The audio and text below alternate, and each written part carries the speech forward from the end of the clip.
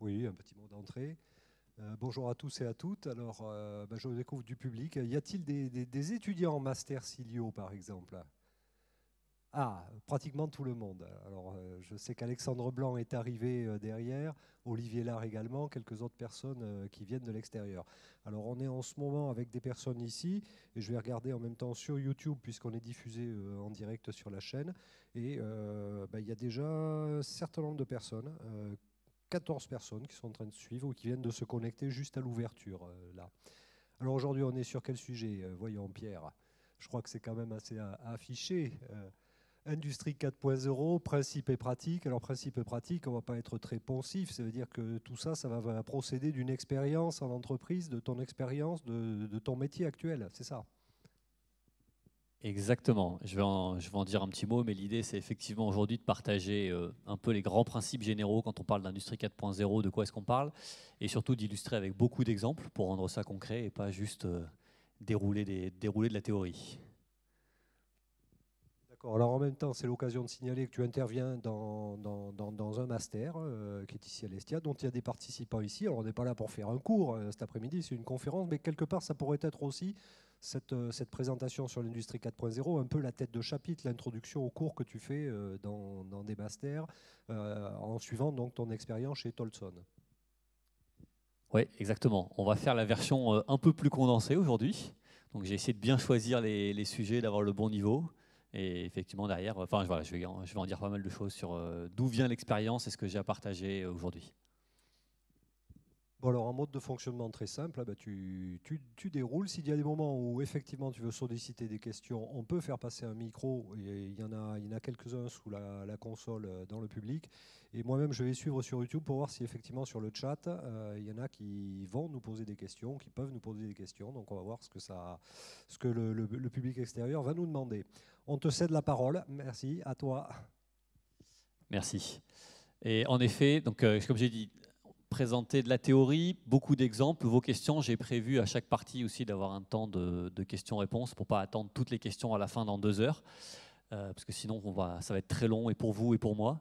Donc on va essayer de faire en sorte que ça soit interactif.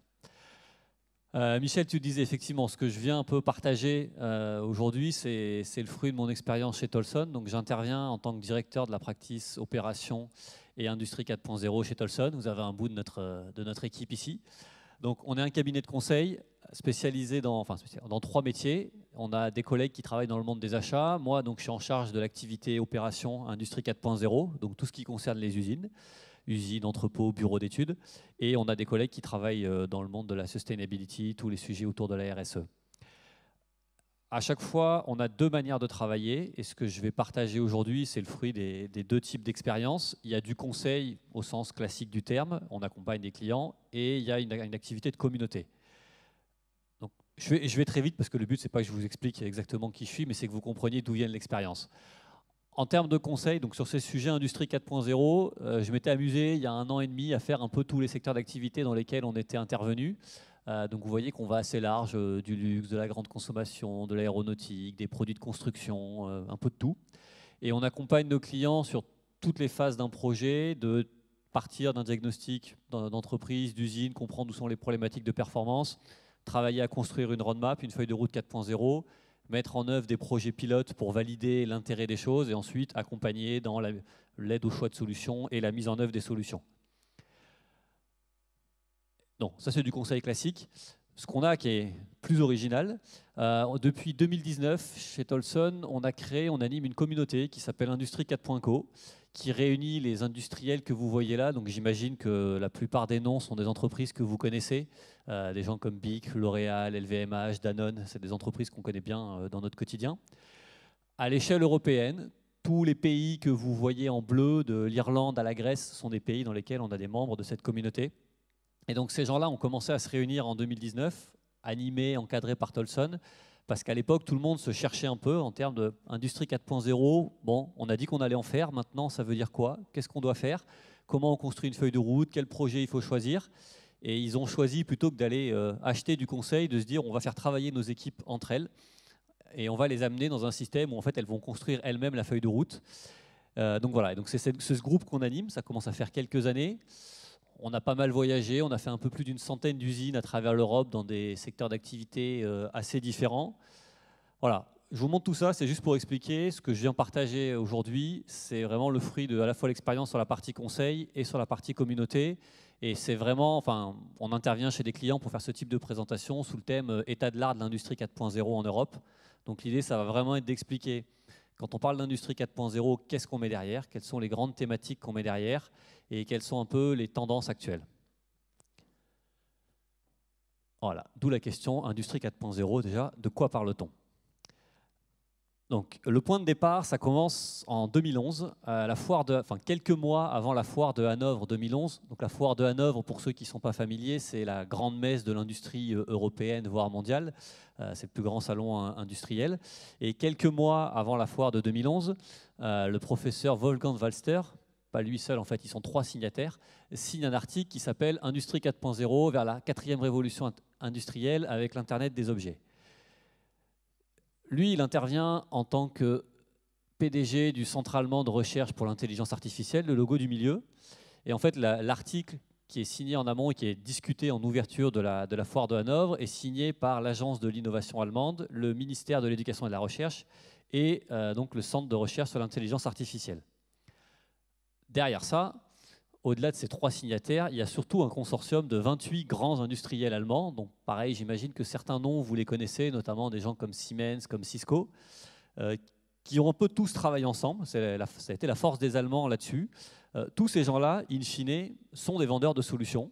Et pour le dire autrement, à l'origine, l'industrie 4.0, c'est un concept marketing inventé par des vendeurs de solutions allemands pour vendre leurs solutions. Ça paraît pas très sexy dit comme ça, mais la réalité, elle est là. Les gens de Siemens, les gens de Beckhoff, les gens de Rexroth avaient des choses à vendre. Ils ont intelligemment travaillé ensemble, brandé ce concept général Industrie 4.0 pour promouvoir leurs solutions. Et on verra après ce que ça, implique, ces solutions. Alors, on n'est pas resté au stade du, concept marketing, et c'est quand même devenu maintenant euh, un concept marketing qui est devenu un, un paradigme et qui fait référence donc les Allemands parlent d'industrie 4.0, en France on parle d'usine du futur, les Américains parlent de smart, manufacturing, les Japonais de smart factory. D'une certaine manière, tous les pays dans le monde ont un peu repris le concept, adapté à leur sauce, mais c'est quand même, ça s'est quand même imposé et c'est aujourd'hui, euh, on ne peut pas trouver au moins un, industriel grande entreprise ou ETI euh, e ou grosse PME qui ne peut pas dire qu'elle ne travaille pas sur ces sujets-là. Donc ça s'est vraiment imposé comme le concept de référence qui est celui autour duquel les, transformations de l'industrie tournent. Alors pourquoi on parle d'industrie 4.0 C'est souvent une question qu'on peut avoir, et même 5.0 grâce à l'Union européenne. On va y revenir. Euh, très schématiquement, on a tendance à considérer que la première révolution industrielle, c'est aux alentours de 1784, avec l'arrivée de la machine à vapeur, et ça a commencé à amener de la mécanisation. Donc il y a eu une révolution au sens énergétique, qui a amené un changement dans l'organisation des ateliers, notamment la mécanisation des, métiers à tisser en premier. Euh, donc voilà, premier changement d'organisation dans les usines. Deuxième révolution industrielle, c'est l'électrification vers 1870, ce qui a commencé à amener de la production de masse et du concept de production en ligne. Donc même chose, un changement euh, énergétique qui derrière vient changer la manière dont on organise les usines. Troisième révolution industrielle, quasiment un siècle plus tard, euh, c'est l'informatique euh, qui arrive dans les usines et qui permet de travailler beaucoup sur de l'automatisation et de la robotisation. Ça peut paraître assez enfin, surprenant aujourd'hui, mais avant qu'on ait tous euh, des smartphones dans notre poche et des ordinateurs avec nous, les premiers ordinateurs étaient quand même avant tout installés dans les usines. Et on a des, des usines qui ont des ordinateurs depuis des années, des années, des années, ce qui est d'ailleurs, on y reviendra plus tard, une partie de la complexité quand on veut faire de l'industrie 4.0 c'est quand on a des systèmes qui tournent depuis 30 ans ou 40 ans dans les usines, c'est compliqué d'essayer de, les débrancher ou de les faire évoluer. Donc voilà, et donc quatrième révolution industrielle, ça vient se positionner là-dedans. Alors on sent que c'est moins clair pour l'instant, l'histoire est encore relativement récente hein, à l'échelle de, la frise temporelle qu'on voit ici. Euh, donc c'est plutôt, enfin voilà, les, les, Allemands ont inventé le concept de cyber physical system, euh, il y a toute la notion de digital, de connectivité, de web. on sent que ça tourne autour de ça. C'est, peut-être que dans 20 ans, on écrira l'histoire de manière plus claire.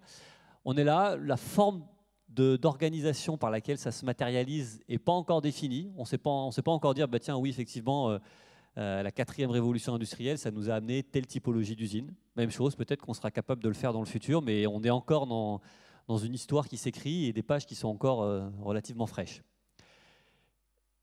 Et je disais, grâce à l'Union européenne, qui n'est jamais en manque de nous trouver des concepts et de nous mettre des fois des choses un peu surprenantes, on a inventé il y a quelques années le concept d'industrie 5.0 en Europe, qui consiste à dire que c'est de l'industrie 4.0, mais qui met l'humain au cœur du système et qui a aussi une approche euh, soutenable, développement durable. Voilà. Bon, euh, ça, très, honnêtement, ça facilite pas les choses quand il faut expliquer à des patrons d'entreprises industrielles euh, qui demandent à quel niveau je me situe. Et surtout, quand, enfin, je partagerai un certain nombre de choses, mais quand on va sur le terrain, on se rend compte qu'il y a un grand nombre de sujets industrie 4.0 qui commencent par l'humain. Ça va même être la première partie qu'on va développer euh, tout à l'heure. Et il y a aussi beaucoup de sujets qui tournent autour des questions de réduction d'émissions, réduction de consommation. Donc d'une certaine manière, ces sujets-là étaient déjà, déjà abordés. Mais voilà, disons que l'Union européenne avait besoin d'imprimer sa marque sur le sujet. Concrètement, aujourd'hui, à part dans les discussions entre personnes de l'Union européenne, des gens qui parlent d'industrie 5.0, on n'en trouve pas, hein, très clairement. Euh, des gens qui parlent d'industrie 4.0, on en trouve, de digital operations ou autres, on en trouve, de 5.0, on n'en trouve pas vraiment. S'il faut synthétiser, s'il faut que vous reteniez une seule image, enfin deux images, c'est quoi l'industrie 4.0 C'est ça, pour être très simple. On prend des gens des usines, on les met avec des gens de la tech, des gens qui font du code, et on les fait bosser ensemble. La manière la plus simple de le retenir, c'est ça. Et on va voir après que ça fait, bah, c'est quand même deux mondes relativement différents, mais on essaye de faire collaborer euh, des gens qui sont plutôt dans le monde du software, euh, dans le monde de l'innovation, du développement, avec des gens qui font tourner des machines depuis 30 ans euh, et qui cherchent à les faire tourner mieux. Alors avant de rentrer plus dans le détail de qu'est-ce qu'on met dans l'industrie 4.0, ça vaut le coup de s'arrêter quand même 2-3 minutes sur globalement pourquoi l'industrie 4.0 et pourquoi les industriels investissent dans, ce, dans ces technologies, dans ces projets. J'ai oublié de le dire, mais surtout si vous avez des questions, vous n'hésitez pas à m'interrompre. J'ai prévu des temps de questions-réponses, mais n'hésitez pas, on n'est pas un énorme comité, on peut se permettre de s'interrompre. Bon, la première chose, euh, ça vient plutôt du client.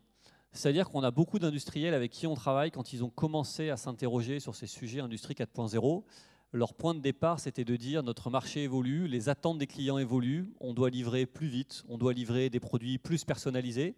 Et à l'heure actuelle, notre, nos usines, notre appareil industriel ne savent pas faire ça. Et donc on doit le faire évoluer pour être en, capable, pour être en capacité de répondre à ces clients. Je vais prendre euh, des exemples un peu, un peu triviaux, mais bon, vous avez vu les, logos, mais je suis, je suis Danone, je fabrique des yaourts. Historiquement, j'ai des lignes qui fabriquent des tonnes et des tonnes de yaourts euh, du même goût à la chaîne parce que je livre des grandes centrales de distribution. Et d'un coup, je dois livrer tout un tas de petits points de distribution avec des commandes un peu variées. Je dois drastiquement réduire la taille de mes lots, changer des goûts, créer des nouveaux goûts. Et je n'ai pas les usines qui permettent de le faire. Donc ça m'amène à m'interroger comment je fais pour produire ce que mes clients demandent. Donc la première demande, elle est vraiment liée à ça. La deuxième, on est dans l'industrie, donc on cherche quand même en permanence à accroître la performance, accroître l'efficacité des usines. Il y a eu énormément de démarches qui ont été engagées depuis des années autour du Lean, autour du Six Sigma, pour aller chercher de la performance. Et tous les gens qui sont assez matures sur le sujet font un constat qu'à un moment, ils atteignent une sorte de, plateau de productivité et il faut aller chercher des nouveaux outils pour aller chercher de la performance supplémentaire. Et donc, en l'occurrence, les outils autour du 4.0 servent aussi à ça, à aller chercher le niveau d'après. Ensuite, la troisième raison, c'est d'accompagner les équipes. Euh, on a, euh, comment dire, on a des gens dans les usines, ils, enfin, ils sont comme vous et moi, ils ont l'habitude d'avoir un smartphone dans la poche et ils rentrent dans l'usine et ils travaillent euh, sur papier, crayon, avec des interfaces qui ont 30 ans. Il y, a, un peu un choc. Avant, on, allait au travail et on avait des outils qui étaient plus modernes que ceux qu'on avait à la maison. Et là, il y a quand même un certain nombre d'usines en Europe où, quand on y va, on revient plutôt 20 ans en arrière par rapport à ce qu'on a à la maison avec des méthodes de travail qui ne sont pas excellentes.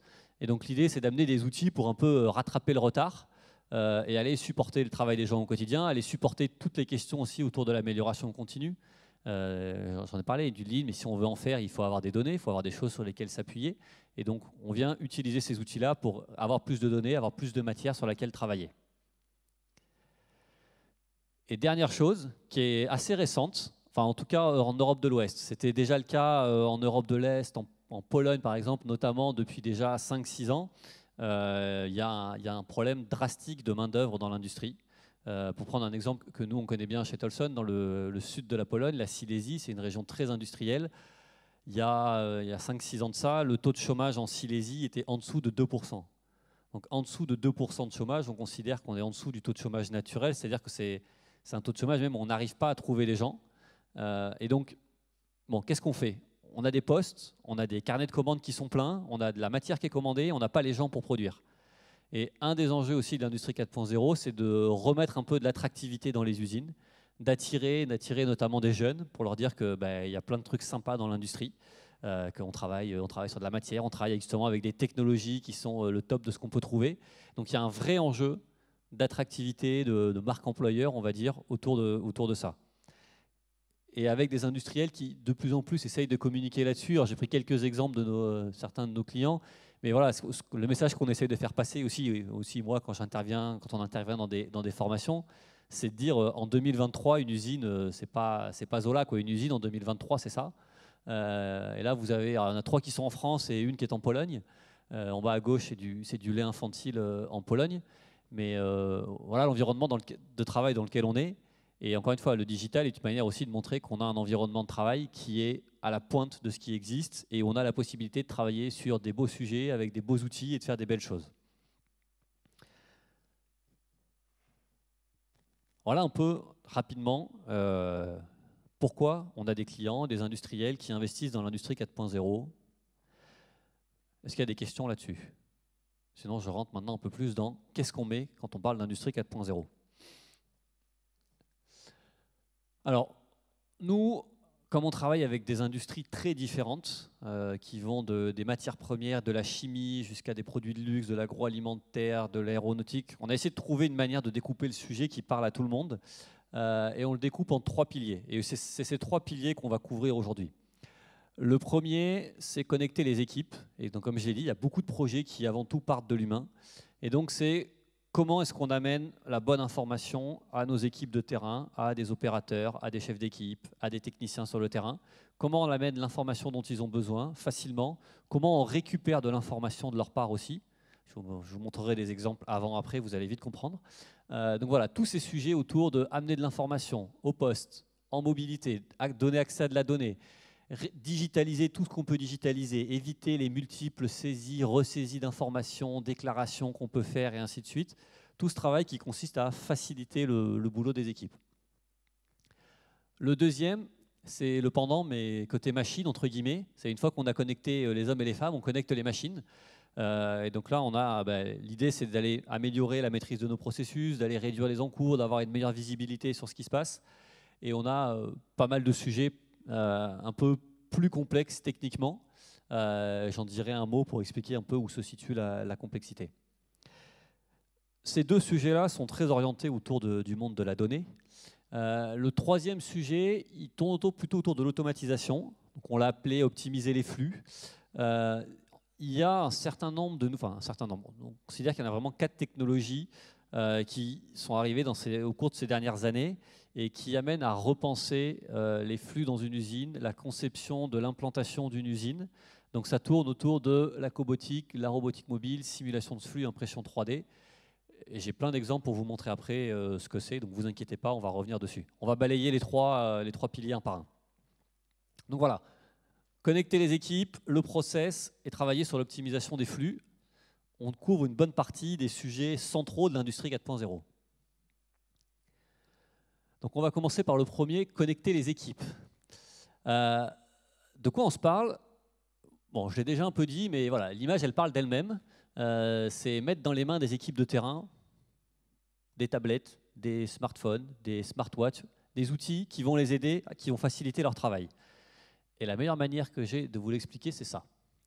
Là, on est chez un de nos clients dans l'agroalimentaire. Donc, vous avez derrière euh, la zone de production. On est dans des environnements, alors ce n'est pas des salles blanches, mais c'est des environnements un peu protégés. Que les personnes doivent porter des charlottes et ainsi de suite, donc on n'y rentre pas super facilement. Et ça, c'est les instructions de travail pour faire tourner le bout de ligne qui est derrière. Donc ça veut dire qu'on a notre opérateur, il est sur la ligne avec sa, son interface, euh, pas tout à fait toute jeune non plus et il a ses instructions de travail pour faire tourner sa ligne correctement. Alors, pareil, on est sur du lait infantile, du lait en poudre pour les bébés, donc c'est sur des produits sur lesquels on n'a pas vraiment le droit de se louper. Euh, donc voilà, il y a un, petit peu de pression. À votre avis, pour faire tourner son, bout de ligne, là on va dire, on est sur la fin de la ligne, donc le, pot de lait en poudre pour bébé arrive et déjà rempli, on vient juste poser la capsule dessus et sceller la capsule dessus. Sur le champ qu'on voit, c'est juste ce qui se passe. À votre avis, combien d'instructions, grosso modo, il a pour faire son boulot? Et là, j'ai besoin de vous, il faut qu'il y ait des gens qui disent des chiffres. 15, 10, j'ai entendu D'autres? Va falloir dire plus, à mon avis. Je vous le dis. Hein? Ah, on, est déjà, on est déjà plus proche. Ça, vous pouvez regarder, c'est, enfin, qu'il y ait des gens qui parlent néerlandais, je crois. Euh, ça, c'est la liste de toutes les instructions de travail, de, donc de chaque document dont il peut avoir besoin pour faire sa production, son nettoyage de machine, sa maintenance de premier niveau, son intervention, s'il y a le voyant rouge qui s'allume, qu'est-ce qu'il doit faire, et ainsi de suite. Donc tout ça. Je vous rappelle que tout ça,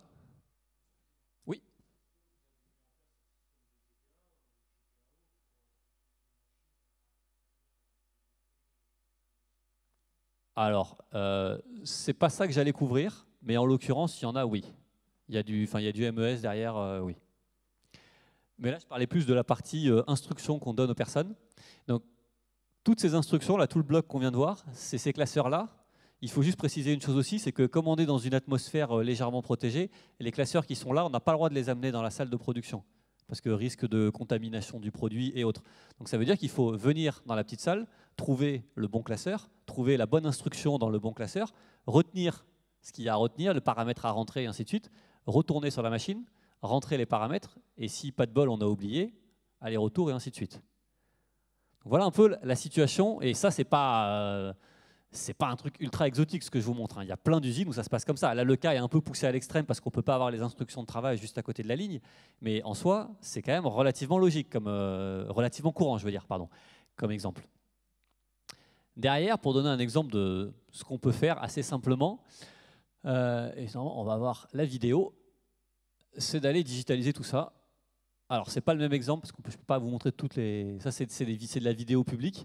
Mais euh, là, on est sur un exemple qui est à peu près le même, où on a accès aux instructions de travail en version digitalisée. Euh, alors, en plus, on est en bas, là, vous avez euh, sur la tablette le, modèle 3D, ce qui permet de montrer vraiment ce qu'on peut faire, de pouvoir zoomer, dézoomer, avoir des petites explications. Mais rien que ça, on peut faire tout un travail d'aller digitaliser toutes les instructions de travail, tous les formulaires et ainsi de suite, et y donner accès assez simplement. Donc on a accès, oui, vous avez toute la, séquence des opérations qui est. Alors là, c'est un, modèle 3D, ça peut se faire avec des photos, avec des vidéos. On a pas mal de choses. Et ça, typiquement, c'est le quand on commence sur des projets, c'est parmi les tout premiers projets qu'on fait, euh, parce qu'en plus, on est sur des projets où on vient faciliter la vie des gens dès le début. Donc, ils sont relativement contents de nous voir arriver ensuite quand on commence avec ce type de ce type d'exemple. Voilà, on peut on peut voir les animations, enfin bref, on peut zoomer, faire tourner le modèle, euh, peu importe. Ça, dans cet exemple-là, la, solution avec laquelle ça fonctionne, ça part euh, simplement avec un QR code. Et donc bah, l'opérateur avec euh, une tablette, un smartphone, il vient, il flash le QR code, il a accès aux instructions de travail de la machine. Mais une fois qu'on a fait ça, on peut aussi donner tout l'historique de la machine. Par exemple, si je suis sur une usine où je tourne avec deux ou trois équipes et j'ai eu un problème sur ma machine pendant le poste de nuit, je peux le déclarer dans l'application. Et ceux qui vont arriver le matin, ils savent qu'il y a eu un problème, ils savent qu'éventuellement, il faut vérifier qu'il n'y a pas une fuite à tel endroit et que ça a été bien réparé. Donc tout l'historique, un peu le, fil d'actualité de la machine, euh, est accessible. On peut avoir le suivi des actions. Même chose, j'étais là la nuit, j'étais opérateur la nuit, il n'y avait pas d'équipe de maintenance, j'ai vu qu'il y a un endroit, ça a l'air de fuir un peu, je fais une demande d'intervention à la maintenance directement via le système, et il n'y a pas besoin d'aller se monter un petit papier, un petit post-it, d'aller le déposer au bureau de la maintenance, puis de se croiser trois jours après pour dire Hé, tu as bien vu mon post-it On fait automatiquement le, suivi d'action, l'adressage des actions aux bonnes personnes. Derrière, on peut aussi suivre euh, qui est intervenu sur la machine, qui a travaillé dessus. Est-ce que les personnes ont les bonnes compétences? Est-ce qu'elles ont les bonnes accréditations? On a un certain nombre d'industries, on a beaucoup de sous-traitants aéronautiques euh, dans la région. Euh, dans l'aéronautique, si vous produisez et que vous n'avez pas les accréditations pour produire et qu'il y a un problème derrière, vous avez, vous très très gros problèmes. C'est-à-dire qu'il y, a une traçabilité qui est énorme à la tâche. Et euh, quand on est Safran et qu'on livre des moteurs à Airbus, il faut s'assurer que la personne qui a vissé le boulon sur le moteur, elle était accréditée pour le faire, qu'elle était à jour de ses certifications, et ainsi de suite. Sinon, on a des gros soucis. Donc on peut faire le suivi, mettre des alertes en cas d'expiration. Euh, on peut faire du suivi de formation, on peut faire des quiz sur certains sujets pour euh, répéter certaines, euh, certaines compétences. On peut créer tout un tas de formulaires, typiquement des, checklists de démarrage de machine pour s'assurer que bah, tout a bien été fait avant de lancer la machine. Tout ça, dans cet exemple, le client en question, c'est une seule application. Et à la fin, il y a un QR code par machine. Et les opérateurs ont une tablette qui est partagé en général par petite équipe. Et ils peuvent donc directement, ils viennent scanner le QR code, ils accèdent à tout ce dont ils ont besoin sur la machine, ils font ce qu'ils ont besoin de faire. Et voilà, et on remplace toute la partie euh, papier que vous avez pu voir. OK? J'ai un autre exemple qui va, qui va un poil plus loin. Euh, donc on va être sur une tâche de...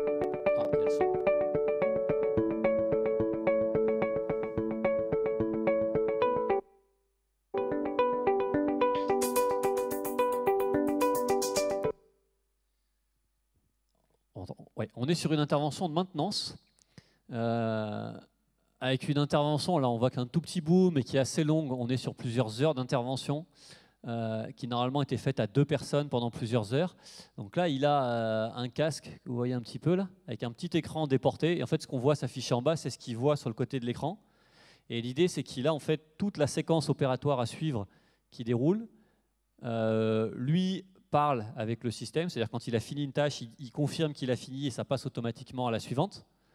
Euh, s'il a besoin d'être assisté, il y a une petite caméra, il y a quelqu'un à distance qui peut l'assister pour lui. S'il y a un expert de la machine à distance qui peut l'assister pour lui dire que c'est tel, tel système qu'il faut aller, c'est tel vis qu'il faut aller déboucher ou qu'il faut aller dévisser ou ainsi de suite. Là, l'intérêt, c'est qu'on est sur des tâches un peu compliquées, un peu stressantes parce que c'est long et pendant ce temps-là, c'est du temps où on ne produit pas. Et on libère un peu la personne, elle a la, séquence pour l'aider à suivre, mais elle garde les mains libres, elle a pas la, parce que les gens de maintenance, quand on leur met des tablettes dans les mains, ils sont rarement contents. Ils passent leur temps à passer sous les machines, à rentrer dans les machines, euh, c'est pas très très pratique. Donc on libère les mains. Euh, on a donc, comme je disais, la possibilité d'avoir un expert à distance.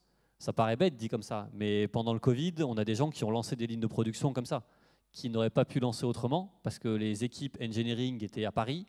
Là, vous avez vu peut-être l'écran en bas, euh, c'est en Pologne. Euh, si les experts avaient, enfin, pouvaient pas se déplacer, s'ils n'avaient pas pu aider la réception des machines à distance, on ne lançait pas les lignes de production. Donc voilà le genre de choses qu'on peut faire. Oui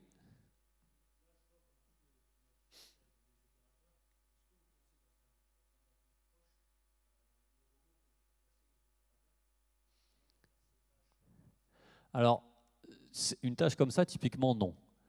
Euh, et on en parlera après quand on va parler plutôt de la partie euh, robotisation moi, de mon expérience, je n'ai pas, de, vérité absolue là-dessus. De mon expérience, les industries avec qui on travaille ou qu'on connaît qui investissent dans de la robotique, euh, ce pas des gens qui virent des opérateurs, c'est plutôt des gens qui ont des problèmes de recrutement, qui grossissent, et c'est plutôt des entreprises qui grossissent et qui viennent se dire, euh, si j'ai des gens dans mon usine, j'ai déjà un peu du mal à les avoir, et je préfère les embaucher pour leur cerveau plutôt que pour leurs bras.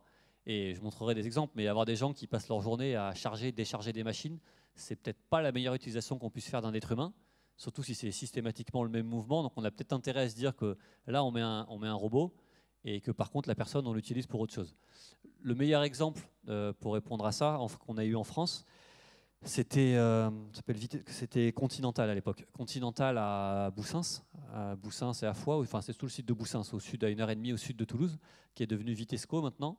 Euh, c'est un site qui était condamné à fermer. Euh, c'est un site, concrètement, il travaillait dans les moteurs diesel. Euh, à l'époque, Continental était en train de désinvestir massivement. Le site était condamné à mourir. Ils ont eu un programme assez très ambitieux. À l'époque, ils ont eu le titre usine nouvelle de l'usine de l'année parce que c'était l'usine la plus cobotisée de France. Ils ont investi massivement, justement pour totalement repenser leur process de production, décharger toutes les tâches répétitives à non-valeur ajoutée, les décharger des humains et plutôt les mettre à des, à des cobots. Euh, ce qui leur a permis, le site a regrossi, et maintenant c'est enfin, un site qui fait partie de Vitesco, et c'est une belle usine qui tourne, qui tourne très bien maintenant.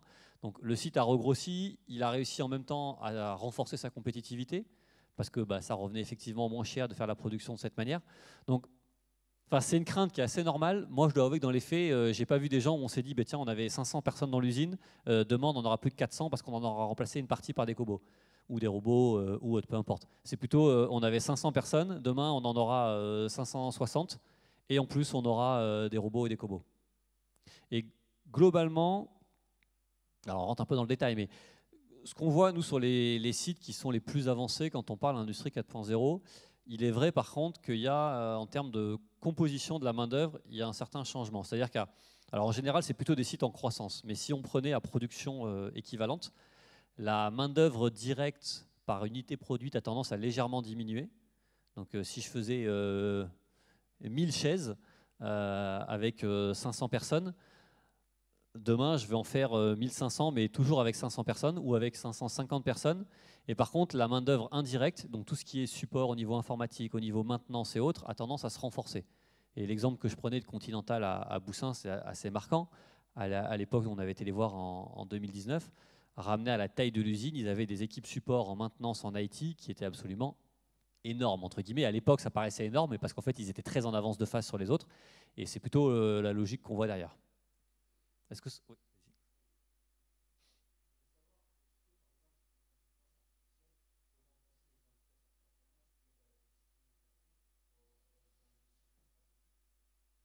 Alors, on s'éloigne un tout petit peu des sujets, ça ne pas trop. Euh, pour essayer de répondre simplement, ça, parce que théoriquement, oui. Euh, la question est la confiance qu'on va accorder dans les indicateurs. C'est un des, un des gros enjeux qui est discuté dans, pas mal d'entreprises, mais c'est la, question de confiance dans l'IA. Et est-ce que les gens sont prêts à suivre la recommandation qui est faite et jusqu'à quel niveau ils sont prêts à la suivre? Euh, Je vous montrerai des exemples où c'est des recommandations relativement simples de paramètres de machine et autres, mais rien que ça déjà. Euh, je veux bien que vous la gardiez pour plus tard, celle-là. On en parlera, euh, si ça vous embête pas, gardez-la gardez en tête pour plus tard.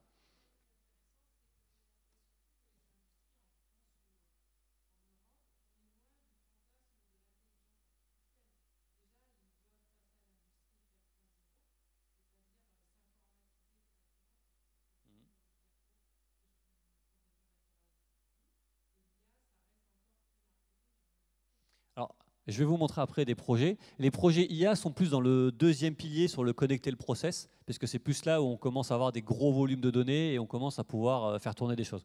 Et je vous montrerai des exemples. Euh, dans les faits, oui. Euh, entre ce qu'on fantasme des IA, des data-driven operations et ce qu'on voit dans la réalité, à part quelques entreprises très avancées, oui, on est quand même assez loin. Tout un tas de raisons, et on n'aura pas le temps de les, développer aujourd'hui, mais euh, assez rapidement, la, complexité qu'on peut avoir par rapport à d'autres domaines où l'IA est beaucoup plus avancée dans tout ce qui est web et ainsi de suite. Euh, prenez du web, c'est déjà, de la, data. Récupérer tout ce que vous faites sur un site web, c'est déjà informatisé. Donc on a, on a des volumes monstrueux de données. Quand on compare, quand on, dans nous, dans l'industrie, on prétend avoir des gros volumes de données et qu'on parle avec des gens qui travaillent dans le web, ils sont morts de rire. Enfin, des volumes de données qu'on récupère dans l'industrie, c'est peanuts par rapport à ce qu'on peut récupérer dans, certains domaines. Donc déjà, rien que ça, récupérer, à avoir réussir à avoir l'information et derrière pouvoir l'exploiter, de l'information exploitable pour tout un tas de raisons aussi. On est dans des environnements qui, sont, qui varient, où la lumière peut varier, où il y a des vibrations et ainsi de suite. On est effectivement assez loin des, des fantasmes qu'on peut avoir. Mais il y a quand même des projets, des beaux projets. J'ai deux, trois exemples euh,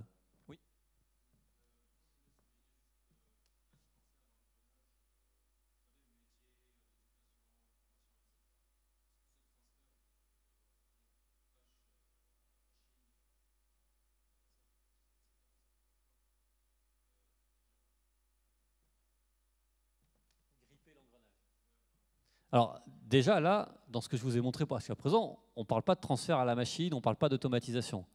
Euh, et Alain, enfin, c'est un sujet, ceci dit, ça reste une vraie question.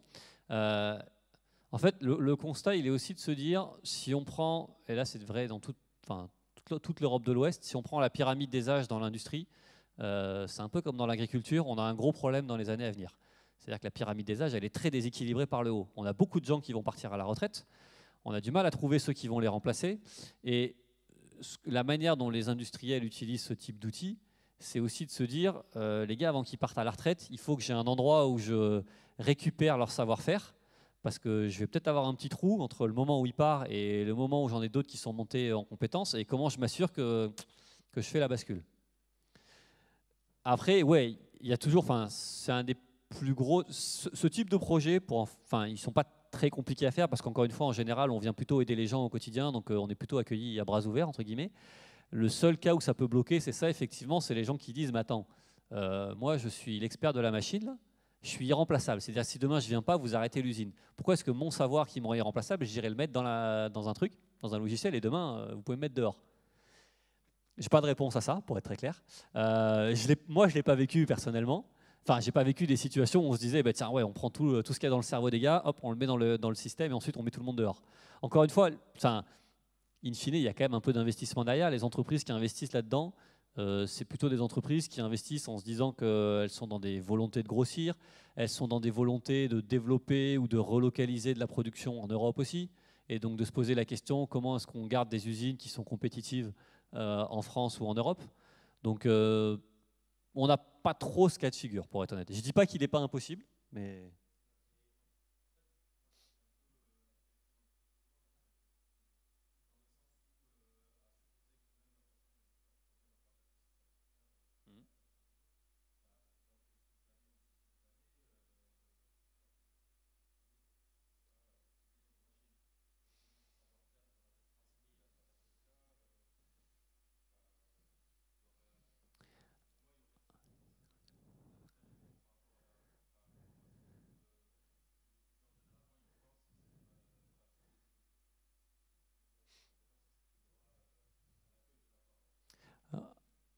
alors, encore une fois, si, on prend cet exemple, euh, lui, son boulot, il ne sera pas remplacé par une machine. Déjà, tout ce qui tourne autour de, tout, ce qui tourne autour de la maintenance, ils sont à peu près tranquilles.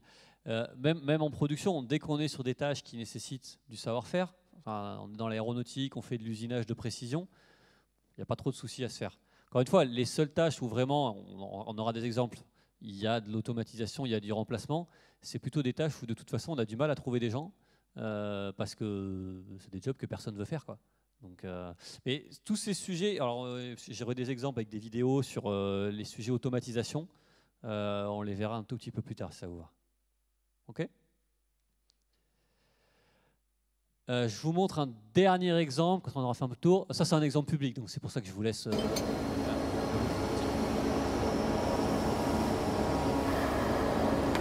Moins 0.25. Accepté.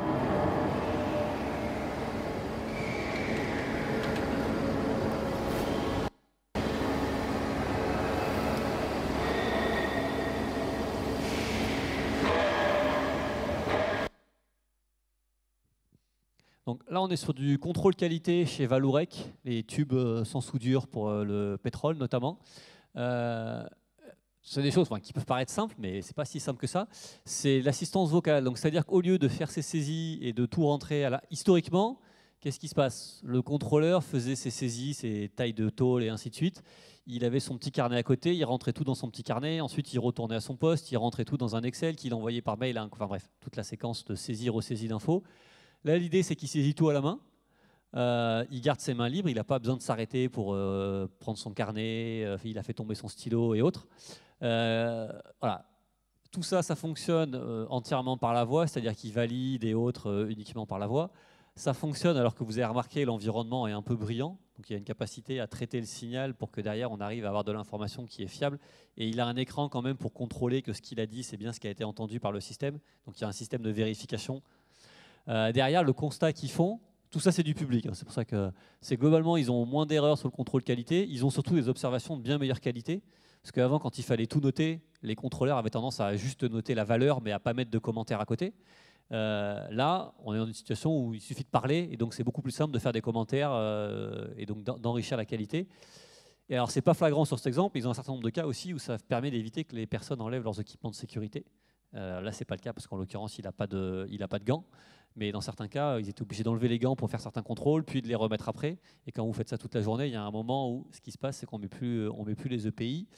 Et euh, voilà. Voilà quelques exemples pour vous illustrer un peu de quoi on parle quand on parle de ce pilier connecter les équipes. Alors, nous, on a, tendance à considérer que c'est un enjeu majeur. Il y a eu des grandes discussions. On avait des clients il y a encore quelques années de ça qui nous disaient Mais non, mais attendez, remplacer du papier par des tablettes, c'est pas ça l'industrie 4.0, quoi, vous charriez. Euh, nous, on a tendance à considérer que si. Ça, ça c'est des vrais exemples chez un client. On parle de suivi de performance et ça, c'est un tableau de suivi de production. Donc euh, voilà, j'ai un objectif, j'ai dû réaliser. J'ai 1, 2, 3, 4, 5, 6. J'ai 7 produits sur la, sur la, sur la journée qui n'ont pas été faits. Je ne sais pas pourquoi, je le découvre euh, le soir. Donc voilà, j'ai perdu 7 produits sur la journée, j'ai pas d'infos, j'ai rien. Ça, c'est ce qui se passe euh, réellement. Euh, on parle de digital et ça, c'est des exemples divers et variés de tableaux d'amélioration continue avec euh, du petit bâtonnage qui est fait à la main tous les jours. Je pense que le plus beau, c'est celui du bas. Euh, voilà, tous les jours, la petite courbe verte qui est remplie en haut, en bas et ainsi de suite. même chose, quoi. On recrute des gens, ils ont leur smartphone dans la poche, ils débarquent dans l'usine, ils voient ça. Et là, on se dit qu'il y, a un choc qui se produit. Donc voilà pourquoi c'est un enjeu qui est important. Euh, il y a plusieurs choses. Il y a un enjeu euh, externe. Enfin, il y a des tendances externes. C'est déjà, bah, comme j'ai dit, c'est dur de trouver de la main-d'œuvre. Donc, euh, il faut trouver un moyen de, compenser ça. On a, bah, c'est naturel, hein, des gens de plus en plus jeunes qui arrivent, qui sont de plus en plus habitués au digital et qui ne peuvent pas comprendre qu'ils n'ont pas d'ordinateur, ils n'ont pas de smartphone, ils n'ont pas de tablette au, bureau, au travail. Euh, c'est choquant, c'est une tendance globale. Et puis il y a aussi ce sujet, euh, bah, le, monde va vite, tourne vite, on a un besoin de réactivité, de changer des choses, et on a un certain nombre de solutions qui permettent de changer un peu plus, plus rapidement. C'est aussi un gros enjeu en interne pour des industriels qui se lancent dans ce sujet euh, Industrie 4.0. C'est que déjà, c'est la manière d'impliquer les équipes de terrain, les opérationnels dans la transformation. On a parlé d'IA, on a parlé d'automatisation. Ça, c'est des choses, vous ne le faites pas avec un opérateur. Vous ne pouvez pas demander à un opérateur sur le terrain quel est son avis sur l'algorithme qui modélise le process de production. Derrière, on fait, c'est des gens qui font ça, c'est des data scientists. Euh, voilà. Donc, ça, de fait, ça a tendance à exclure les gens. La robotisation, l'automatisation, c'est pareil. C'est des projets euh, d'ingénieurs, de managers, mais vos techniciens, vos chefs d'équipe, vos opérateurs, ils ne sont pas impliqués, ils sont trop peu impliqués dans ces projets. Et donc le risque, c'est de lancer tout un tas de projets où on a finalement les gens qui sont à la fin sur le terrain et qui font le travail, qui sont exclus de ces projets. Et il se passe des choses, mais c'est bien, c'est sans eux, ça se passe dans les bureaux. De temps en temps, il y a euh, des consultants, des ingénieurs, euh, des bureaux d'études qui débarquent, qui leur installent un truc, qui repartent. Et eux, ils doivent prendre l'indicateur et faire ce qu'on leur dit. Ça ne peut pas marcher. Donc l'intérêt de tout ce pilier connecter les équipes, c'est euh, à la fin, nos usines, si elles produisent, c'est parce qu'il y a des hommes et des femmes qui font que ça produise dedans à l'intérieur, qui font tourner les machines, qui alimentent en produits, en, matière, et on a, il faut les impliquer dans, ce, dans ces projets. Ensuite, c'est aussi le moyen de rendre les choses visibles. Euh, même chose, vous travaillez sur un projet d'IA, ça se passe dans les bureaux, puis à la fin, il y a un indicateur qui sort. Vous prenez quelqu'un sur le terrain, vous lui dites écoute, euh, maintenant euh, ton bloc-notes, on va l'enlever, on va te le remplacer par une tablette, tu auras automatiquement les infos dont tu as besoin, tu n'as plus besoin de faire de saisie, et ainsi de suite. Il voit la différence, il voit que sa boîte est en train de faire quelque chose.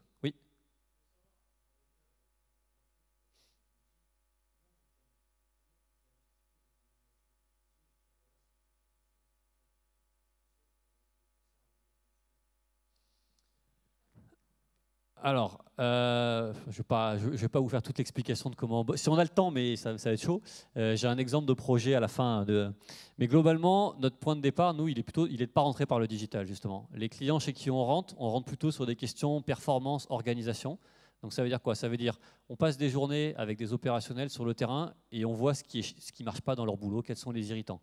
On assiste au rituel, on voit ce qui marche, ce qui marche pas. On regarde les KPIs, on voit ce qui marche, ce qui marche pas. Et on commence à mettre le doigt sur se dire, d'un point de vue, on je ne fais pas du 4.0 pour faire du 4.0 et mettre du digital. C'est, on a une usine, qu'est-ce qui ne marche pas dedans, comment on peut l'améliorer, et à ce moment-là, oui, il faut avouer qu'en 2024, il y a un certain nombre de cas où euh, le digital peut être un outil, pas toujours d'ailleurs, mais peut être un outil pour répondre à ça. Donc l'idée, c'est plutôt rentrer par des problématiques opérationnelles, trouver ce qui ne marche pas, et encore une fois, le premier point sur lequel euh, j'aime bien travailler, c'est commencer par les irritants des opérationnels. Parce que comme ça, les gens, la première chose qu'on fait, c'est de leur rendre service, c'est de leur enlever des tâches qui sont pénibles, encore une fois, des saisies multiples d'informations. Et c'est la meilleure manière de s'assurer bah, que ouais, voient l'intérêt du projet, ils ont envie de participer, ils ont envie de contribuer, donc ils amènent des idées, ils s'impliquent et ça fonctionne. Plutôt que de commencer par des projets euh, ultra avancés, super sexy, mais qui se font euh, sans eux. Et la, dernière chose, la dernière attente un peu interne, Euh, c'est lié à la performance. C'est un, la performance actuelle, c'est-à-dire, bah, je prenais l'exemple de Valorec, mais on évite des saisies parce que quand on fait des multiples ressaisies d'informations, il y a toujours des erreurs qui finissent par se produire. Si on automatise tout ça, on réduit les erreurs. Et c'est aussi commencer à préparer la performance future parce que les gens commencent un peu à. C'est eux qui deviennent les premiers responsables de la donnée. Et donc, ils en voient l'intérêt, ils ont la solution dans les mains pour laquelle ça vaut le coup de saisir de la donnée, ils voient l'intérêt. Et donc, bah, ils, comprennent mieux pourquoi il faut le faire, est-ce que ça vaut le coup de rentrer ces données, et ainsi de suite. Donc, ça permet de commencer à préparer tout le monde à utiliser, à utiliser ces solutions. Et derrière, bah, il y, a quatre grands enjeux sur lesquels on va travailler. Hein, mais c'est la performance, les savoirs, donc on en parlait, euh, améliorer le, transfert, des savoirs et le développement du savoir-faire, créer un environnement de travail attractif et, euh, être attractif justement, euh, et être capable d'attirer des gens. Et ça, alors on a parlé un peu tout à l'heure de GPAO, donc gestion de production assistée par ordinateur, ou MES, on parle beaucoup, Manufacturing Execution System. Pour parler un peu plus tendance, le monde est un peu en train de changer là-dessus. Euh, depuis quelques récemment. Historiquement, donc vous, avez eu des cours sur les ERP, il me semble, pour le, Master. Euh, vous avez dans les usines des MES ou GPAO, qui est grosso modo le ERP de l'atelier. Donc c'est tout ce qui permet de gérer, de piloter l'atelier de production. Si on prend la norme, c'est ces 11 fonctionnalités qui sont décrites. Et donc historiquement, les industriels euh, avaient acheté ce type de logiciel assez lourd à mettre en place, comme un projet de ERP. Il fallait tout configurer pour faire rentrer dedans. Depuis quelques temps, assez récemment en fait, très récemment en fait, euh, on voit se développer quelque chose qui consiste à se dire en fait non, on oublie ce truc où j'achète une grosse boîte et il faut tout il faut que je force mon process à rentrer dedans. Je pars dans l'autre sens, je pars plutôt de mes tâches et je pars de ce que font mes opérateurs. Si je prends, on a fait un exemple pour schématiser, mais voilà, j'ai euh, un peu de une première étape de process, ensuite j'ai de la pesée, un peu de transfert logistique, du contrôle qualité, de la palettisation. Et sur chacune de ces tâches, je me pose la question de de quoi est-ce que j'ai besoin, qu'est-ce que les gens ont besoin de faire, pas qu'est-ce que le MES que j'ai acheté me permet de faire, mais qu'est-ce que j'ai besoin? Dans mon contrôle qualité, pour mon process, pour mon produit, qu'est-ce que moi j'ai besoin de vérifier? Et on construit des applications sur mesure pour faire ça. Donc, non, justement, j'y viens. Euh, donc l'idée, c'est au lieu d'acheter quelque chose qui pour le coup coûte cher, un MES ça coûte très cher. Euh, enfin, ça dépend, mais globalement, ça, alors, j'y viens, justement. C'est ça, ça, qui a changé depuis, on va dire, un an, euh, grosso modo. C'est de se dire, voilà, sur chaque tâche, de quoi est-ce que moi j'ai besoin? Je vais faire mon application. Et effectivement, faire, faire du développement par des gens, ça coûte très cher. Enfin, ça coûte, ça coûte, ça coûte quoi. Euh, mais on a des choses qui sont arrivées, qui commencent à se généraliser dans l'industrie. Nous, on parle d'app builder chez Tolson, qui sont liées autour de tout ce qui est low code et no code. Donc, ce que nous on appelle un app builder, c'est une solution qui englobe trois choses trois niveaux. Des bases de données. Donc, c'est-à-dire le premier travail que vous faites, c'est vous modéliser la donnée dont vous avez besoin. Vous dites, voilà, voilà quel type de données j'ai besoin de récupérer, voilà les liens logiques entre ces bases de données. Ensuite, vous concevez les workflows. Donc, euh, ben, globalement, je, dois faire un contrôle qualité, donc mon workflow, ça va être la personne va scanner une étiquette avec le code barre. Ça lui ouvre une checklist de ce qu'il faut contrôler. S'il clique sur non à un moment, ça lui ouvre une fenêtre en lui demandant de prendre une photo du défaut. Donc tout ça, on le configure manuellement. Et à la fin, on fait le design de l'interface utilisateur. C'est des, des, petites boîtes à dimensionner, à agrandir. Puis on met, on met une boîte, on dit que c'est un bouton, que quand on clique sur ce bouton, ça vient lancer ce workflow et que ce workflow, il vient euh, prendre ou écrire dans cette base de données ça, à la fin, on fait des applications comme ça. Euh, là, on est sur de l'intervention du contrôle sur des, sur des compresseurs. Une application comme ça qui est, qui est en plus assez, enfin, assez jolie, assez, moderne, quoi, je veux dire, en termes de, en termes de design. Ça, c'est fait avec zéro ligne de code côté industriel. C'est-à-dire c'est uniquement de la configuration de ce que je viens de vous dire, quelles sont les infos dont j'ai besoin, quels sont les liens entre ces infos et à quoi va ressembler mon interface à la fin? Il n'y a pas une ligne de code qui est écrite ni par l'industriel ni par nous pour faire ça. C'est uniquement de la, euh, du low-code, c'est le principe. J'ai un exemple de solution et je vais le prendre parce qu'ils sont, vous avez peut-être déjà entendu parler, ils sont le bâtiment, euh, je sais pas, juste au-dessus, euh, à Estia Entreprendre. Les gens d'Algotech font ça, donc ça c'est leur solution. Donc vous avez, alors c'est un exemple qui est sur leur site, donc c'est un exemple très théorique et qui n'est pas lié à l'industrie. Mais ce que vous avez en noir, c'est l'écran dans lequel on vient configurer le, flux de données et à droite c'est l'application à quoi elle ressemble. Donc là je crée une application de suivi des dépenses et voilà, je dis que je commence, je vais créer une dépense, derrière, il faut remplir tel formulaire, qui vient chercher des infos dans telle base de données, à la fin ça génère telle action. Mais tout ça, c'est fait uniquement, euh, c'est du relationnel, c'est du logique, c'est pas de la programmation. Alors, c'est celui qui est en bas là, Vision. Et les gens d'Algotech, ils sont juste au-dessus. Hein. C'est le bâtiment euh, Estia Entreprendre euh, au premier étage. Je les cite eux parce qu'on a travaillé avec eux et qu'ils sont quand même à 100 mètres d'ici, donc ça serait, ça serait dommage de ne pas les citer. Et que c'est très bien ce qu'ils font.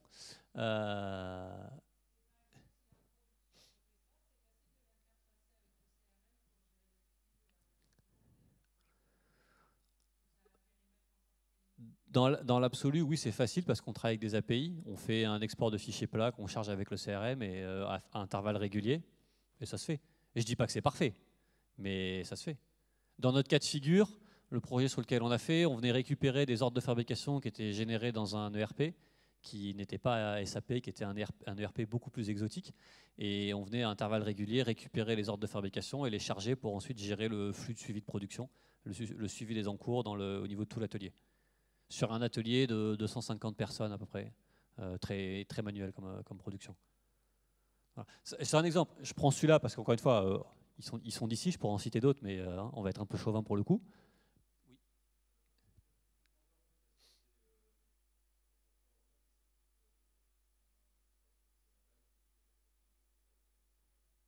Alors, déjà, on n'est pas sur du CRM. Hein. Euh, nous, l'exemple, par exemple, qu'on a fait avec, euh, Algotech euh, l'an passé, c'était du suivi d'encours de production. Donc, c'est savoir, j'ai des produits à faire, ils doivent passer par X étapes, et savoir où est-ce qu'ils sont dans le flux de production. Ce qui avant était fait en manuel, donc en gros, on ne le faisait pas. L'idée, en fait, c'est que derrière, c'est pas préprogrammé. Derrière, c'est une feuille blanche. Vous avez une technologie donc, autour de ces trois blocs-là. Hop, base de données, workflow et interface utilisateur. Et après, vous créez ce que vous voulez avec. Ce n'est pas pré-programmé, ce n'est pas un module prédéfini qui vous dit tiens, il y a un module qualité que tu viens configurer.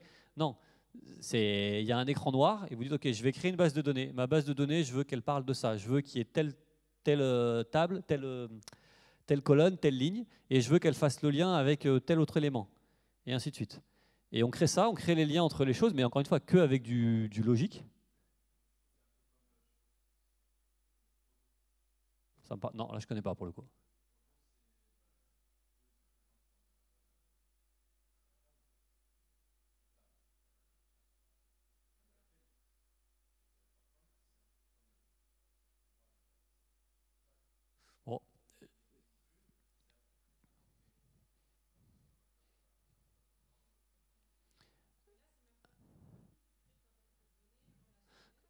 Moi, j'ai créé un module, enfin, j'ai une consultante dans mon équipe qui a créé un module euh, suivi d'encours de production dans la maroquinerie.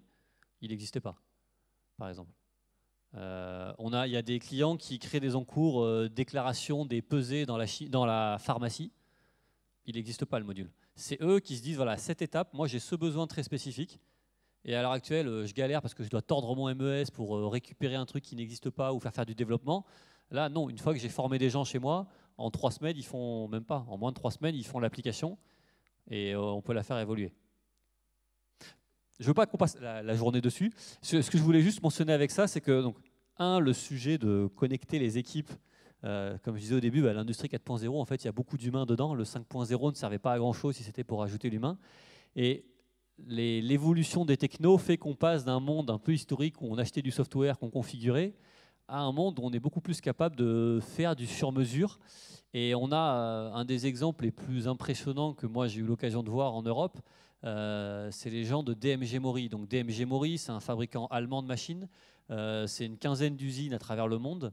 ils ont fait le choix il y a quelques années de ça d'arrêter leur MES, donc d'arrêter le logiciel de pilotage de, de, tous leurs ateliers. 15 usines qui font des machines-outils, donc en plus, ce n'est pas des produits simples qu'ils fabriquent. c'est du custom, c'est à chaque fois. Et de tout intégralement remplacé par ce type de, solution et de concevoir uniquement des applications et des, flux de données pour piloter l'intégralité de leur production.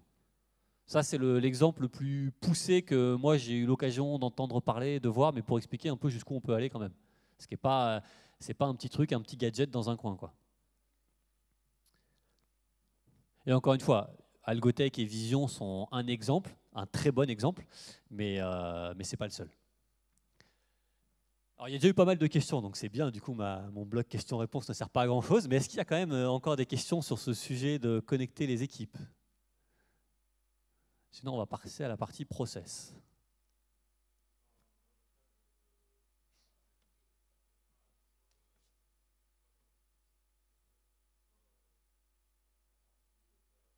Ouais, je vais vous dire, on fait, donc vous avez vu les, entreprises qui sont membres de notre communauté, c'est plutôt des grands groupes. Euh, en conseil, on travaille avec tout type d'entreprises. La communauté, c'est plutôt des grands groupes internationaux.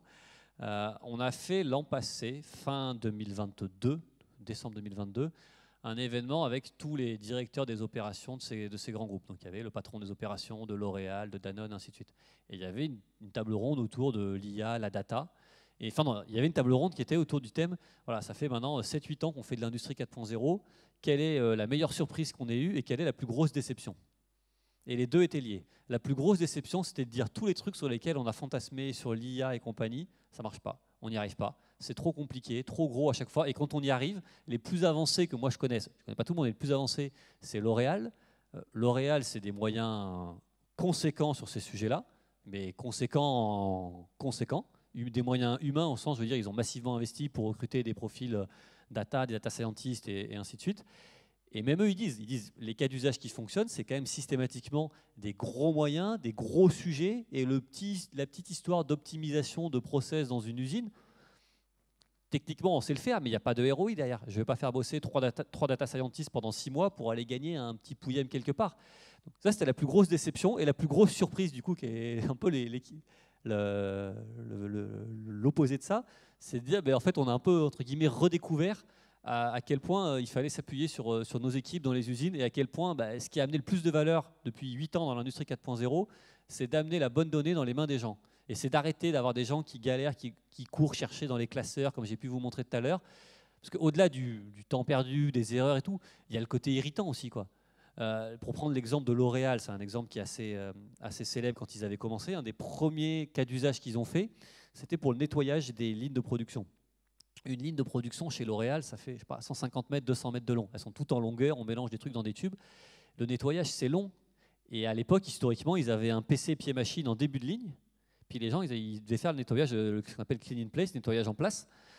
Mais c'est long à faire, c'est deux heures le temps de tout nettoyer avec une séquence à respecter. Sauf que quand vous avez fait 70 mètres sur la ligne et que vous ne vous souvenez plus la séquence suivante, qu'il faut retourner au début du PC pied-machine pour aller voir le truc et revenir et ainsi de suite, mais au-delà de la perte de temps, c'est le côté irritant pour les gens. Et c'est le, tout premier cas d'usage que L'Oréal a fait en termes d'industrie 4.0, ça a été ça. Ça a été de dire la séquence opératoire du nettoyage en place, on met des smartphones, on la met dans la poche des gens, et ils la font avec, euh, ils font leur nettoyage en place avec le smartphone dans la poche, avec la séquence, euh, avec les instructions dans la poche. La première année, de mémoire, les chiffres qui étaient sortis sur les 20, ces 22 usines, je crois, à L'Oréal, ils avaient gagné 14 000 heures de travail, de temps avec des gens qui n'allaient pas, euh, enfin de temps où du coup là ils gagnaient du temps sur le nettoyage et la ligne était, utilisable plus tôt. Donc on est quand même sur des trucs où on s'est dit en fait ouais il y a des, gains majeurs, il y, a, le gain au sens purement opérationnel, performance, mais encore une fois, il y a aussi le gain au sens euh, humain. quoi. C'est avoir quelqu'un qui passe sa journée à aller faire des saisies, ressaisies d'infos. Prendre temps. L'exemple, vous savez, le tableau que j'ai montré avec les, chiffres des déclarations de production. Euh, ça, c'est une, usine pour qui on a travaillé en, Espagne. Euh, à la fin de la journée, il y a les, les, responsables de zone, ils font le tour de toutes les lignes, ils ressaisissent tous les petits trucs, tous les chiffres sur leur petit carnet, et puis ils se pointent tous au PC parce que historiquement il n'y avait qu'un seul PC et ils font la queue le soir pour rentrer leurs chiffres avant de rentrer chez eux. Tout le monde est parti et eux ils pourront une demi-heure de plus pour rentrer leurs chiffres avec euh, le risque d'erreur et ainsi de suite. Quand ces gens-là vous leur dites mais ça c'est fini, enfin tes chiffres ils sont saisis automatiquement en cours de journée et le moment où tu as un problème, tu as une alerte, tu ne le découvres pas le soir que tu as un problème. Bah, dans le côté euh, engagement des gens et falloir faciliter la vie et faire en sorte qu'ils aient un travail qui soit sympa et qu'ils puissent travailler sur un truc intéressant, se dire tiens on a un problème, comment on le résout plutôt qu'aller euh, pointer de la donnée, ça marche pas trop mal. J'ai fait une longue digression. Il y avait une... Oui.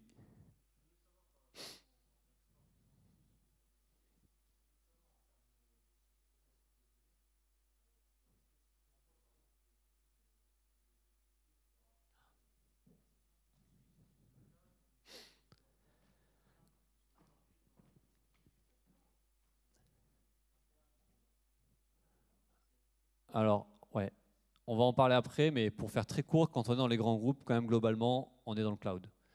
Quand on veut aller sur des solutions où il y a du traitement de données, la puissance de calcul, elle est dans le cloud. Et ça peut sembler surprenant parce qu'on sait tous qui sont les grands acteurs du cloud et il n'y a pas beaucoup de grands acteurs du cloud français ou européens. Euh, mais globalement, c'est dans le cloud. Mais on va, on va en parler. Oui.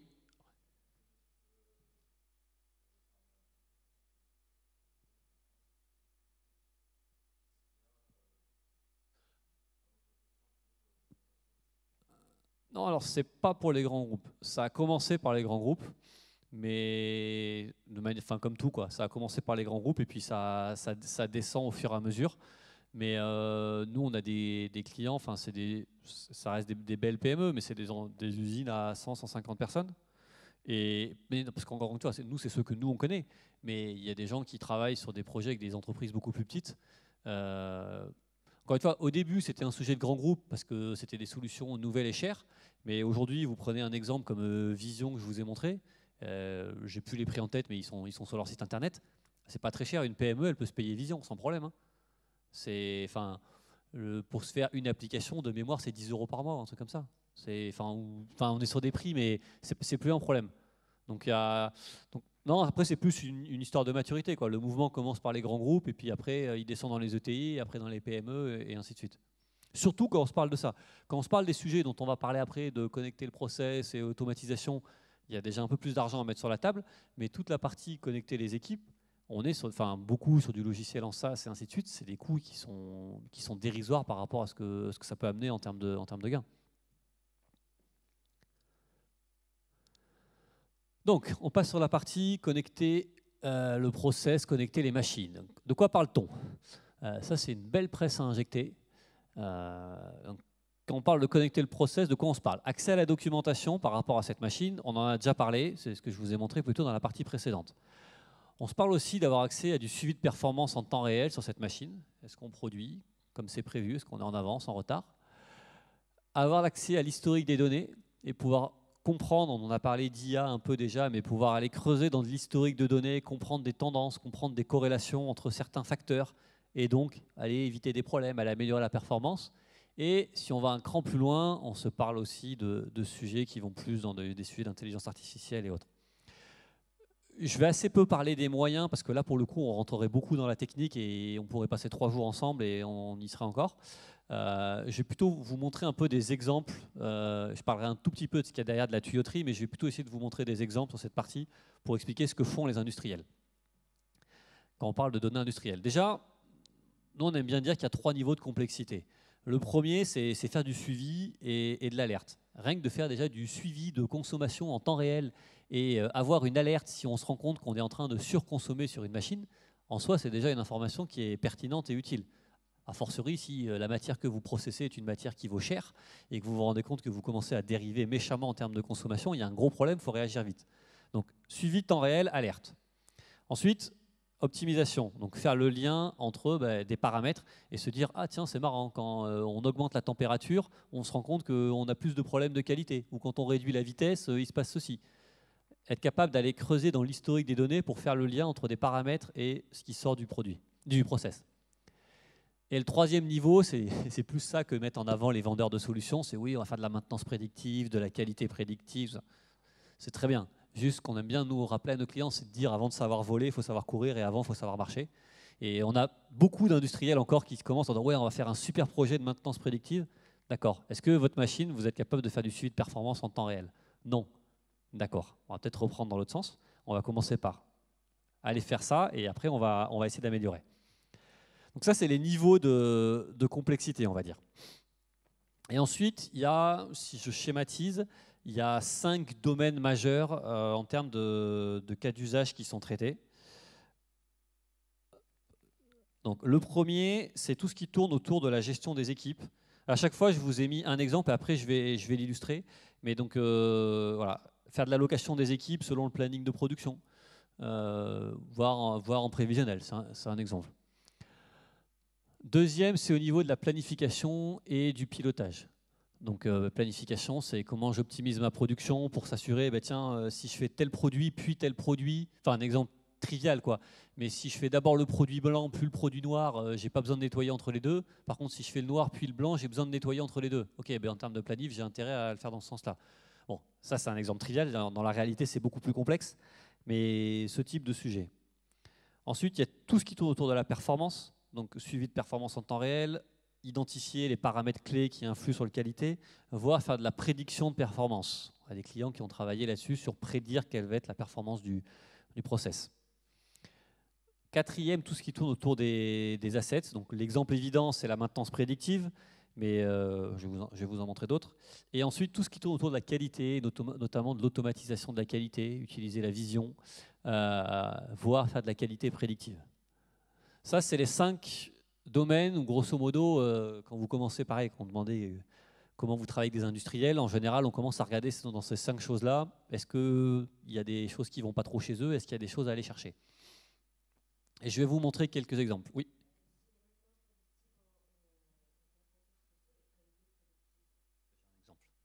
ça, tombe bien, c'est un de ceux que j'ai. Donc, quelques exemples. Sur le domaine de la qualité, euh, donc là, l'exemple que je vais vous montrer, donc on est sur une entreprise qui fabrique de l'outillage, de l'appareillage électrique. On est au niveau euh, on va suivi alerte, c'est un projet en France. Le projet, en fait, donc ils ont un produit, euh, ils font des, disjoncteurs, grosso modo. Euh, le disjoncteur, c'est un, équipement de sécurité dans un tableau électrique. S'il ne fonctionne pas pour X ou Y raison et que votre maison prend feu parce que le disjoncteur n'a pas fonctionné, et légalement, vous vous retournez contre l'industriel parce que 100% des disjoncteurs doivent fonctionner. Donc on est sur un produit qui doit fonctionner à 100%, c'est une obligation légale, et en même temps sur un produit où il y a un certain nombre d'étapes et de coûts qualité. Et le projet qu'a mené cet industriel, c'est de se dire est-ce que on peut passer d'un truc où on fait un contrôle sécurité de chaque produit, et ils font euh, des dizaines et des centaines de milliers de disjoncteurs par an, qui sont tous testés plusieurs fois pour s'assurer que ben, effectivement le système disjoncte, et on le remet en place et on revérifie qu'il disjoncte. Est-ce qu'on peut passer de ça à un système où on identifie quels sont les à peu près 16 euh, paramètres qui influent sur la qualité du produit et s'assurer que si on met ces 16 paramètres sous contrôle et que si les 16 paramètres restent dans leur fenêtre de tolérance, le produit sera bon sans avoir besoin de contrôle qualité. Donc on se permet à la fin, en fait l'idée c'est qu'on remplace le contrôle qualité et le temps que ça représente par la maîtrise des paramètres. Euh, tout en maintenant, donc enfin là, il n'y a pas le choix, c'est 100% de produits conformes. Encore là, c'est une obligation légale. Et en même temps, il se trouve qu'on est sur un, enfin, cet industriel en question, les lignes de production ont été saturées sur ce produit. Donc tout le temps qu'on vient gagner en réduction de, de contrôle qualité, c'est de la production supplémentaire qu'on va vendre, puisque les lignes sont saturées. Donc un projet comme ça, c'est assez simple de le justifier. Donc voilà, premier exemple, c'est vraiment avoir identifié les...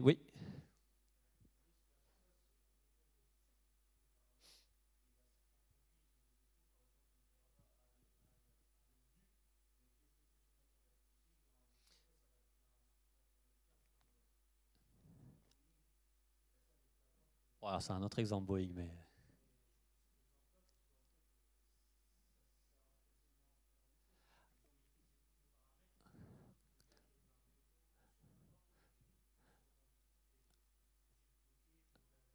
Alors, à la différence que Boeing, c'est un, une intervention humaine, puisque les, les, tronçons qui sont livrés par Spirit arrivent dans l'usine Boeing, les portes sont démontées puis remontées, et qu'au moment du remontage, il n'y a pas eu de maîtrise des paramètres, puisqu'ils n'ont pas remis tous les boulons en place. Donc en l'occurrence, il y, a eu une non-maîtrise des paramètres, puisque le paramètre disait il y a X boulons, et ils n'ont pas mis les X boulons. Là, on est alors, beaucoup sur du process automatisé. Un, un disjoncteur, c'est minuscule, euh, c'est beaucoup, c'est de l'assemblage très haute cadence. Et justement, l'enjeu, il est de se dire, quels sont les paramètres dont on est, mais on est vraiment sûr à 100% que cela, si on, si on est maîtrisé, on n'aura pas de défaut à la fin et on sait que le produit sera euh, fonctionnel sans problème. Et encore une fois, enfin, ils ne peuvent pas se permettre de le faire si derrière ça risque de ne pas marcher. Donc euh, si le projet a avancé, c'est parce que derrière, ils ont la certitude et ils ont été capables aussi de démontrer aux législateurs que si ces 16 paramètres-là étaient exécutés correctement, le produit ne pouvait pas avoir de défaut fonctionnel.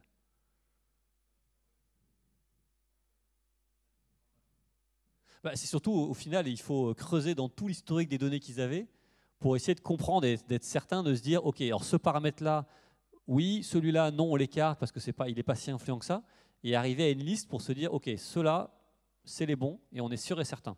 Mais il y a un, enfin là, on se parle d'analyser des, années, des dizaines d'années d'historique de données avec des experts métiers pour se mettre d'accord sur se dire, OK, ceux-là, on est certain, et ça marche.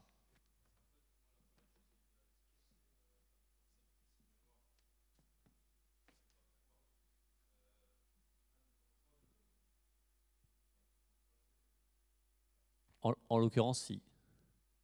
Et enfin, nous, on, bosse avec ce client, je ne donnerai pas le nom, mais ils l'ont fait parce que leur principal concurrent l'avait fait aussi et que ça avait fonctionné. Et donc, ça a été un choc un peu culturel euh, chez notre client de se dire euh, Attends, mais comment ça c'est possible? Ils ont réussi, il faut qu'on le fasse aussi. Donc, euh, ça veut dire qu'il y a au moins deux entreprises qui ne sont pas des plus petites qui le font, et c'est des produits qui sont mis sur le marché depuis quelques années et sans, sans aucun problème. Parce qu'un contrôle qualité, qui est fait, qui est fait en manuel, théoriquement, oui, vous êtes sûr qu'il est bon, théoriquement. On n'est pas à l'abri de le contrôle qualité qui a été fait le soir par quelqu'un qui est fatigué, et il y a un produit qui passe à l'as et il n'est pas fait. On ne sait jamais. Je ne devrais pas vous dire ça, mais...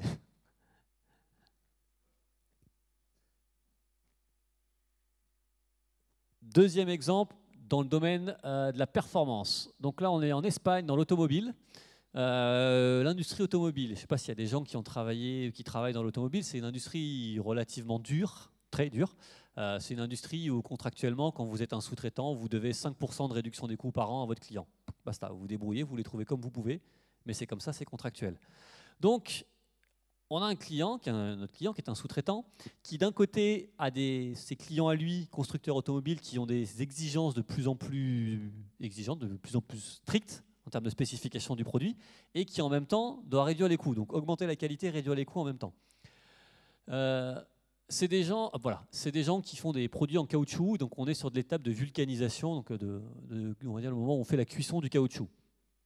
Historiquement, pour s'assurer que la vulcanisation s'était bien faite et que le produit allait être bon, ils avaient un temps de sécurité. Ils se disaient, euh, grosso modo, si on le cuit 30 secondes, on est certain que, que la vulcanisation est bien faite. Peu importe le produit, peu importe les conditions, 30 secondes, on est certain que ça se passe bien. Le problème, déjà quand vous faites ça, c'est que bah, potentiellement vous faites du temps de process pour rien. Et il y a un autre problème, c'est que le caoutchouc, plus il est cuit et plus ses propriétés mécaniques s'éloignent de ce qui est attendu, enfin se dispersent. Donc non seulement le process est plus long, mais en plus vous avez plus de chances d'avoir un produit qui sort des spécifications qui sont attendues double peine. Donc le projet sur lequel ils ont travaillé, c'est de passer de cette logique où euh, on faisait par sécurité à une logique où on utilise des données temps réel et on fait du travail sur du temps réel. Qu'est-ce qu'ils ont fait? Ils ont instrumenté les machines pour avoir des conditions temps réel, notamment tout ce qui tourne autour de la température, de la vitesse de rotation, de la tension d'extrusion, enfin tout un tas de paramètres process, temps réel, pas théorique, réel. C'est-à-dire euh, la machine est censée tourner à 220 degrés. Oui, mais non, elle est à 217,5 degrés. C'est pas la même chose. Ils ont croisé aussi les lots de matière qui arrivent sont testés en laboratoire, qualifiés en laboratoire, et donc ils les scannent en arrivant, ils récupèrent les données de laboratoire, et ils récupèrent aussi les spécifications produits, les spécifications de l'outillage. Et en croisant tout ça, ils arrivent en fait justement en temps réel à faire des recommandations aux opérateurs pour dire bah, là en fait le prochain lot de production, euh, le temps de vulcanisation, il ne faut pas faire 45 euh, secondes, mais il faut faire 38 euh, secondes. À chaque fois, hein, ça a l'air d'être des tout petits gains. Mais à la fin, on est sur un projet où c'est double gain, c'est-à-dire 15% de réduction du temps de cycle en moyenne et 15% aussi de réduction de la dispersion des propriétés, donc de produits qui sont plus dans la cible attendue par le client. Donc là, vous voyez, on passe d'une logique où euh, on travaillait selon euh, la bonne recette, euh, entre guillemets, qui était en sécurité, à une logique où on travaille sur de la donnée réelle, temps réel, et on essaye de faire de la, recommandation de paramètres, pas basée sur du théorique, sur des abacs, mais basée sur du temps réel. Et même chose, pour construire le modèle qui vous dit que quand il y a telle température, telle vitesse, que la matière, elle est un peu comme ceci, un peu comme cela, que c'est tel outillage qui vient de chez tel fabricant, enfin, derrière, c'est des centaines de paramètres qui sont pris en compte pour aller faire la recommandation à l'opérateur sur le, sur le terrain. OK? Un autre exemple dans le monde de l'utilisation des assets. Alors, je ne vous ai pas mis de maintenance prédictive, euh, je vous ai mis autre chose. Euh, du remaining useful life. Euh, donc, fin de vie d'un outillage. on est de nouveau en France, c'est un industriel qui fait de l'optique. Euh, et donc là, on est sur une question d'outillage et d'outillage qui vaut cher. Et donc l'idée, c'est que si je change mon outillage trop tard, je fais de la non-qualité, et donc je jette des produits à une étape où ils commencent à valoir cher en plus. Et si je change mon outil trop tôt, je jette à la poubelle un outil qui vaut une fortune. Et donc euh, voilà.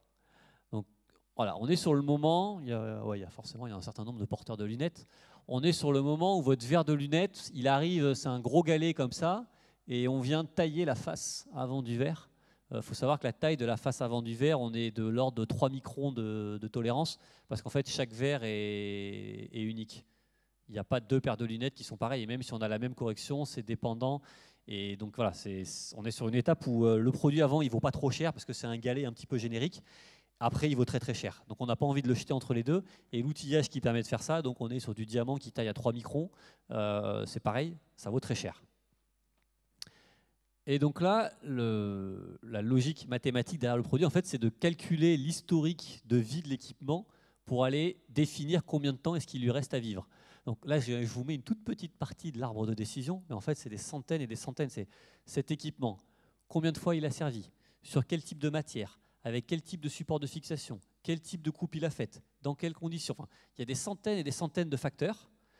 Et le but à la fin, c'est qu'au moment où l'opérateur cherche sa machine pour euh, lancer la, découpe. ça se fait par lot d'une vingtaine de verres de mémoire. Euh, il y a un écran qui est soit vert, soit rouge. Et en fait, ça fait le calcul. C'est-à-dire le, lot de production que tu t'apprêtes à charger, euh, il faut 400 coups pour le faire. Et la machine, on estime qu'elle peut encore en faire 500. Donc c'est vert, tu peux y aller. Ou à l'inverse, il faut 400 coups pour le faire. Et avec tous les calculs, on arrive à se dire que la machine, elle peut plus en faire que 250. Donc lance pas ta production et vois ce que tu dois faire. Là, l'idée, c'est qu'on réduit les coûts de consommables parce qu'on jette moins d'outillage. Et encore une fois, euh, l'outillage, il vaut cher. Euh, on réduit aussi les coûts de non-qualité parce qu'on fait moins de produits défectueux. Et en plus, on peut optimiser les plannings de maintenance par rapport au planning de production parce qu'on arrive à anticiper en fonction de ce qu'on a prévu et donc ne pas avoir des remplacements à faire à la dernière minute, mais être capable d'un peu mieux anticiper. voilà, même chose, on vient taper dans des années et des années d'historique de données pour aller affiner et se dire, tiens, qu'est-ce qu'on peut faire comme, euh, recommandation euh. Un point à noter dans l'exemple que je vous montre, et c'est vrai dans la plupart des exemples, théoriquement, on pourrait fermer la boucle. C'est-à-dire, on pourrait se dire, euh, la machine fait ses calculs, elle définit les paramètres, elle les applique elle-même au système. Techniquement, il n'y a rien qui empêche de le faire. Dans les faits, il y a peu d'industriels qui font ce choix-là. et qui choisissent de sortir l'humain de la boucle. Il y a encore culturellement, au moins en Europe, un truc fort de se dire quand même à la fin, on préfère faire confiance à des êtres humains pour prendre la décision et donc on fait des systèmes qui leur font des recommandations, charge à l'être humain d'appliquer ou pas la recommandation. Mais de mon expérience, il y a très peu de projets où on fait du fonctionnement en boucle fermée et quand on le fait, c'est sur des sujets qui sont assez peu critiques. C'est euh, régler la température de la chaudière, grosso modo.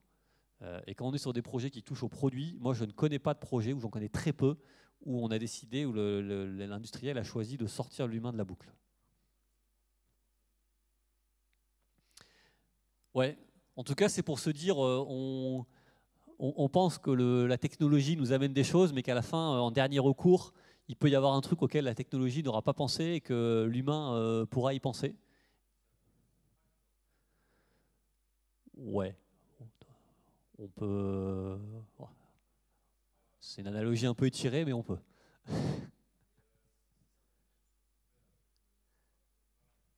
Disons que oui, on peut avoir un système d'auto-emballement du système. Euh, oui, c'est effectivement.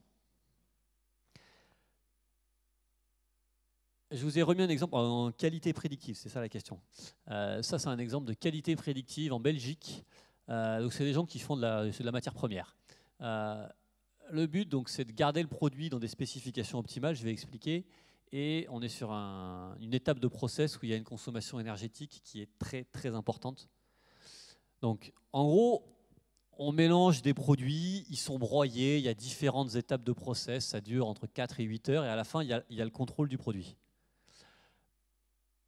Et le but, une belle loi normale, c'est qu'en gros notre produit, s'il est, euh, on, a une, taille cible, à la fin on fait, de la, on fait des matières premières, on fait de la poudre, peu importe l'usage, c'est de la poudre qui est vendue à des clients les, grains de poudre doivent faire, euh, ils doivent être compris entre 3 et 4 microns, on va dire par exemple. Si le produit est pile au milieu de sa spécification, c'est ce qu'ils appellent du produit grade A, donc c'est celui qu'ils peuvent vendre le plus cher.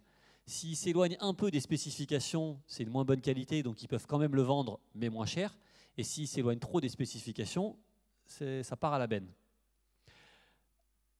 Ce qui se passe, c'est que l'étape de broyage, euh, vu le procédé, c'est une étape qui est extrêmement consommatrice en énergie. Et là, on se parle d'un projet qui a été fait quand les prix de l'énergie ont commencé à s'enflammer. Euh, et donc le fait de déclencher ou pas déclencher la broyeuse, à la fin du mois, ils étaient capables de voir la différence sur la facture d'électricité. Donc c'est un enjeu où ils savaient mettre des euros en face. Et donc leur enjeu, en fait, c'est de prédire au moment du broyage, en fonction des données labo, des données matières, des données process, des conditions, parce qu'on est sur un process où selon que c'est plus ou moins humide, qui fait plus ou moins humide dehors, ça influe sur le produit qui sort. Donc même sur des tonnes de process, mais de décider si au moment du broyage, ils pensent que le produit va être dans les specs ou pas, et donc est-ce qu'il y a besoin de broyer ou pas. Donc en quelque sorte, ils font le pari que s'ils ne broient pas, 4 heures plus tard, la qualité sera bonne. S'ils se loupent, ça veut dire que les produits partent à la benne. Mais s'ils ont réussi, ça veut dire qu'ils ont évité le broyage et donc ils ont évité le coût qui était généré par ce broyage. Et encore une fois, ça leur vaut. Euh, enfin. L'énergie, c'est le plus gros poste de dépense du site en question. Donc euh, avant, avant même leur matière première. Donc, euh, voilà, ce qu'on appelle qualité prédictive. C'est se dire si je fais ou je ne fais pas ça, est-ce que mon produit sera dans les specs? Un autre exemple qui était assez, que je peux partager parce qu'il était assez fameux aussi, il, était dans la presse, c'était chez L'Oréal.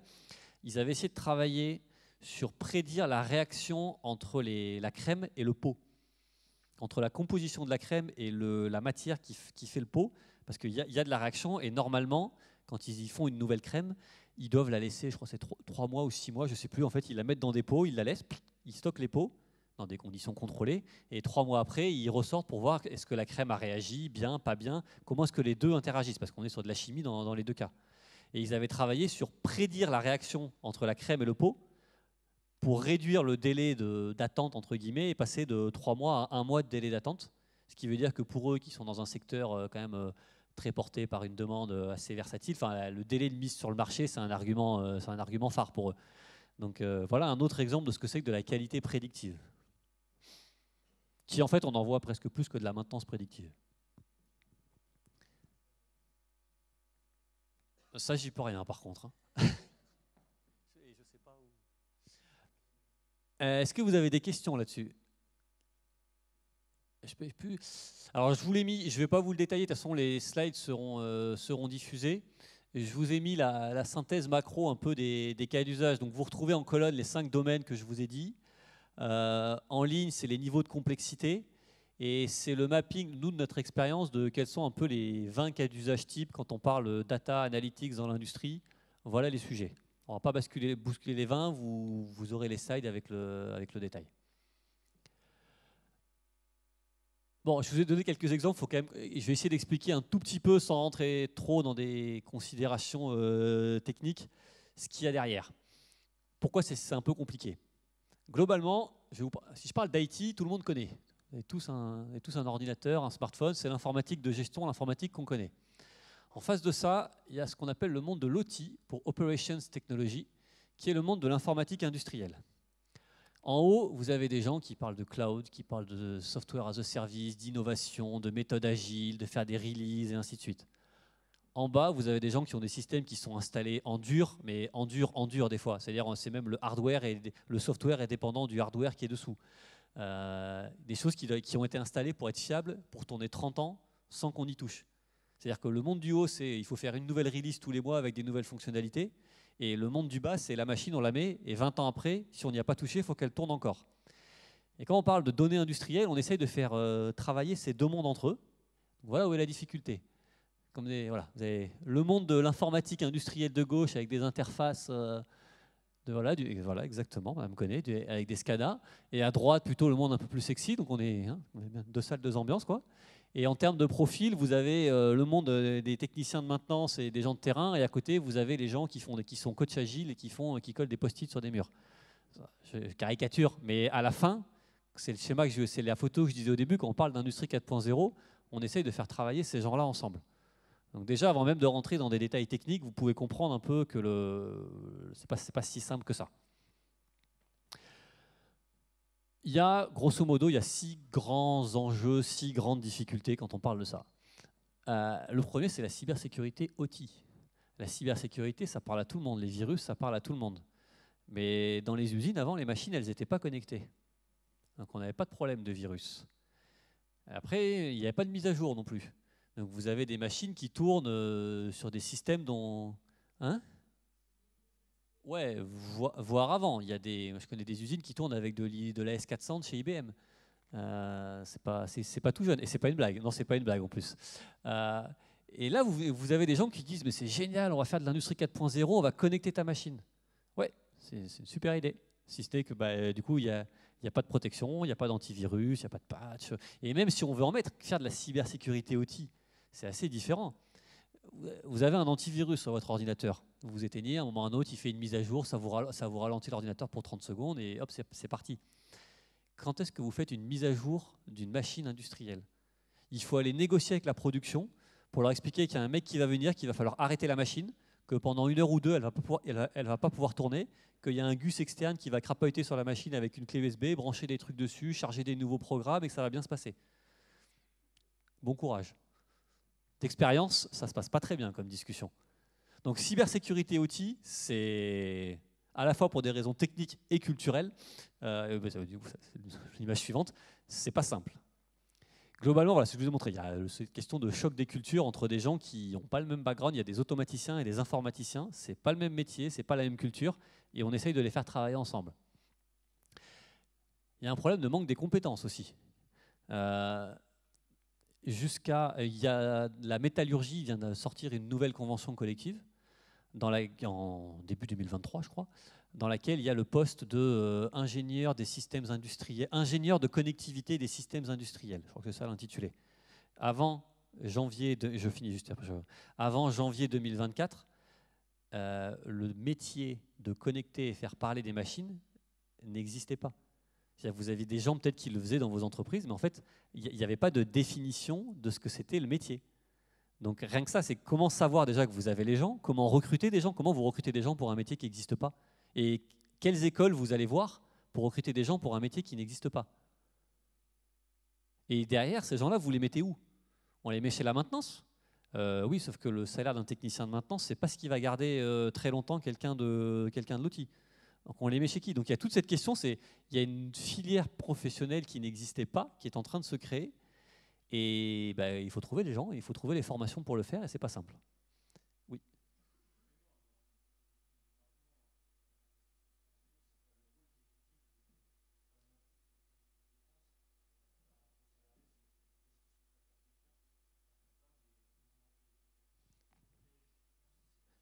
Alors, Si, mettons. Euh, mettons que je veuille créer le métier de demain qui est de connecter mes machines. Je forme mes gens sur quoi? Et je les forme avec qui?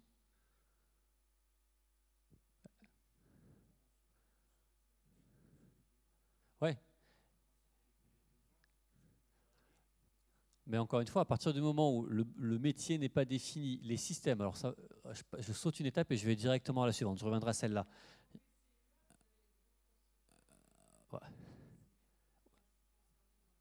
Oui.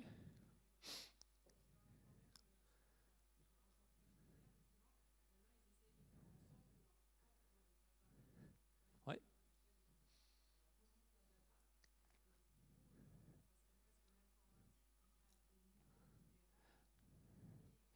Vous travaillez chez qui, si c'est pas indiscret? Ouais, c'est pas la plus petite boîte de chimie. Euh, j'imagine que vous achetez pas des usines neuves tous les ans?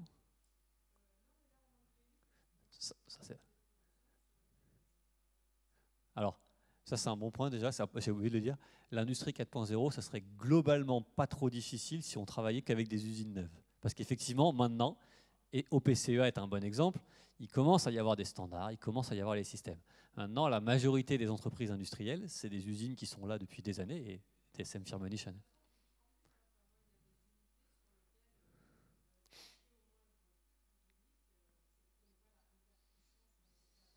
Exactement.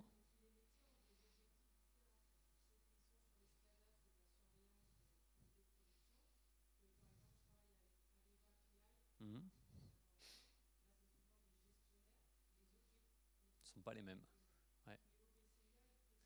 Mais alors, clairement, l'OPCEA est très intéressant. Donc, l'OPCEA vise à être un.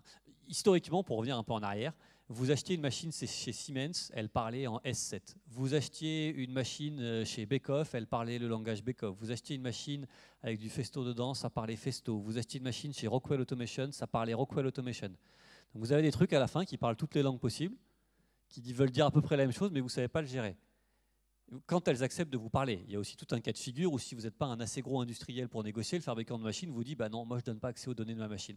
C'est de la propriété intellectuelle, je vous donne accès qu'aux données euh, au suivi de performance, mais le reste vous l'aurez pas. Et effectivement, l'OPCEA, donc il y a une fondation derrière, la OPCEA, Open Protocol Communication Unified Architecture. L'idée est d'avoir effectivement un standard de communication en machine et de dire qu'une donnée qui sort d'une machine industrielle doit être euh, décrite de telle manière. Donc, alors c'est quelque chose, il y a un, travail monstrueux qui est fait par l'OPCA depuis quelques années, qui est génial, mais encore une fois, avant qu'on ait remplacé tout le parc machine pour le mettre par des machines qui sont OPCEA, il sera passé un siècle. La question est surtout, quand on a des machines qui sont là depuis des années, qui ne parlent pas au PCEA, qui ne sont pas connectées, euh, comment on fait? Et donc je reviens sur mon point euh, par rapport aux compétences, j'ai une usine, mais j'ai des machines de chez Yuski, de chez ABB, de chez Intel, de chez Intel, de chez Intel. Mais mes gars, je dois former, je les forme sur quoi? Sur ça? Sur, chacune sur chacun de ces langages? Mais j'ai aussi la question des réseaux, si je veux remonter. Alors, il faut aussi que je les forme sur les réseaux. J'ai aussi la question des systèmes de contrôle, Il Faut aussi... Et c'est là où est la difficulté, c'est qu'en fait, il y a tellement de sujets et le, les choses n'étant pas encore tout à fait claires qu'il y a un vrai sujet de compétences. Et à l'heure actuelle, même je dis ça, même les, enfin, Safran, qui est quand même présent par ici, Safran a beaucoup œuvré auprès de la nouvelle, pour la nouvelle convention collective pour intégrer ce sujet dedans. C'était eux qui vraiment lidaient le sujet. Et même des groupes industriels de la taille de Safran n'arrivent pas à trouver les gens, tout simplement. Les gens qui ont les compétences. Parce que à l'heure actuelle, moi, je vais vous dire, je connais deux écoles et demie en France qui forment des gens euh, sur ces profils-là. Et je suis comme tous mes clients qui les connaissent, je vais surtout pas donner le nom parce que je vais me garder les profils.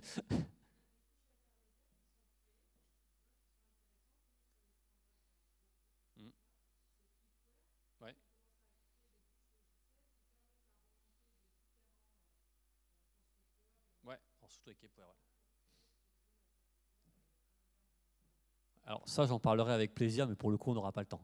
Mais euh, c'est effectivement, il y, a des, bon, il y a quand même des choses derrière. Euh, c'est juste que je surveille l'heure et qu'on est légèrement en retard. Euh, il y a un sujet qu'on a sauté, c'est aussi faire des sujets data quelque part dans un coin du process, c'est sympa, mais c'est pas ça qui va vous changer la vie. Et si vous avez investi lourdement pour aller changer une étape du process et qu'à la fin ça vous fait gagner un pouillème de quelque chose, ça va être compliqué à justifier. Donc il y a aussi l'enjeu de comment on passe à quelque chose d'un peu plus structurel, qui culturellement est compliqué dans beaucoup d'entreprises. Et puis la dernière chose, il y a aussi la question de maîtriser ces données, euh, maîtriser ces données pour en faire ce qu'on veut en faire aujourd'hui, mais aussi en faire ce qu'on veut en faire euh, à l'avenir et qu'on ne sait pas encore. Et, et, tout ça, on a parlé de certains outils, mais la problématique n'est pas outil. On est en 2024, in fine, oui, il y a la technologie, elle existe. La problématique, elle est euh, avoir un peu de, méthode et de manière de faire. Alors du coup, je vais essayer de faire vite. Euh, je ne vais pas tout couvrir, je vais juste faire les, grandes lignes. L'idée, donc je pars de mon process physique. Si on veut avancer sur ces sujets-là, la première chose, c'est de se poser qu'est-ce qu'on veut faire? Quels sont les cas d'usage qu'on veut faire? Comment est-ce qu'on va créer de la valeur avec la donnée? Et là, il y a un travail à faire avec les métiers, avec le mapping des cas d'usage que je vous ai dit pour dire tiens, où est-ce qu'il y a de la valeur à aller chercher? Ensuite, pour faire ça, on repart d'en bas de quelles données j'ai besoin pour faire ça. Si je veux faire de la qualité prédictive, comme je vous ai montré tout à l'heure, quels sont les paramètres que j'ai besoin de mesurer? Comment est-ce que je vais les collecter? Ensuite, comment je vais traiter cette donnée et la rendre euh, disponible pour les cas d'usage? J'ai un exemple, voilà. Si je vous dis 120, est-ce que quelqu'un sait me dire ce que c'est?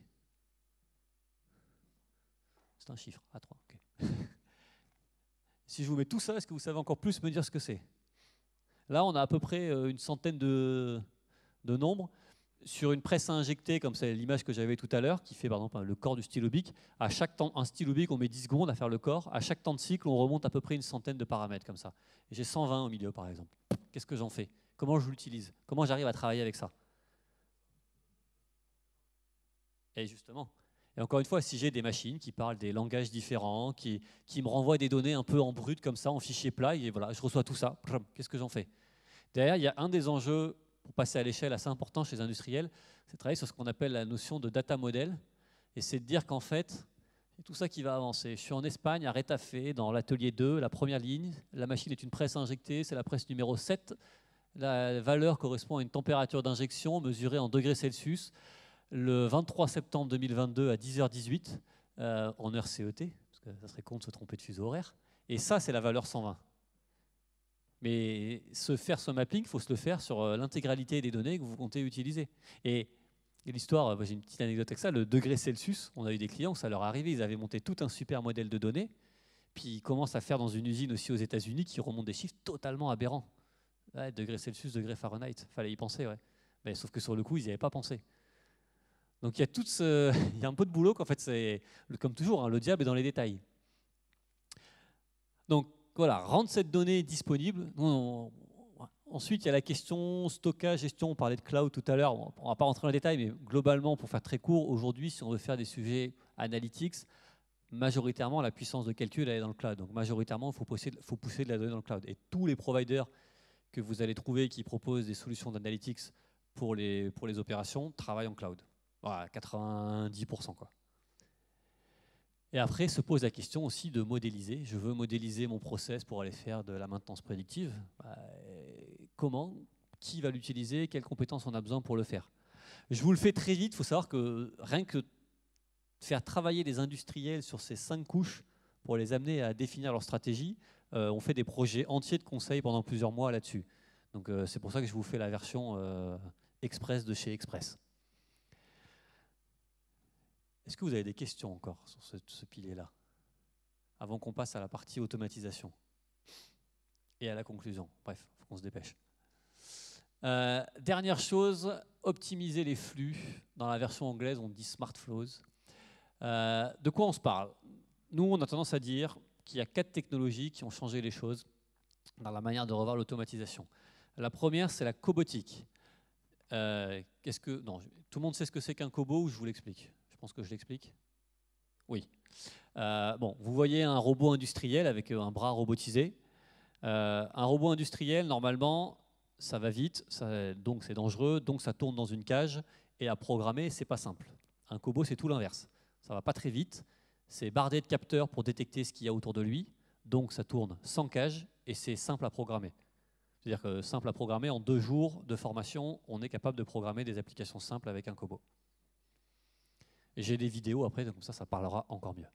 Donc, cobotique, robotique mobile, euh, vous avez la photo, mais le plus simple, c'est d'imaginer que là où il y a un chariot élévateur ou quelqu'un qui pousse un trolley à, roulette, ben, on peut le remplacer par un petit, un petit robot euh, qui fait, le boulot, qui fait le déplacement à sa place.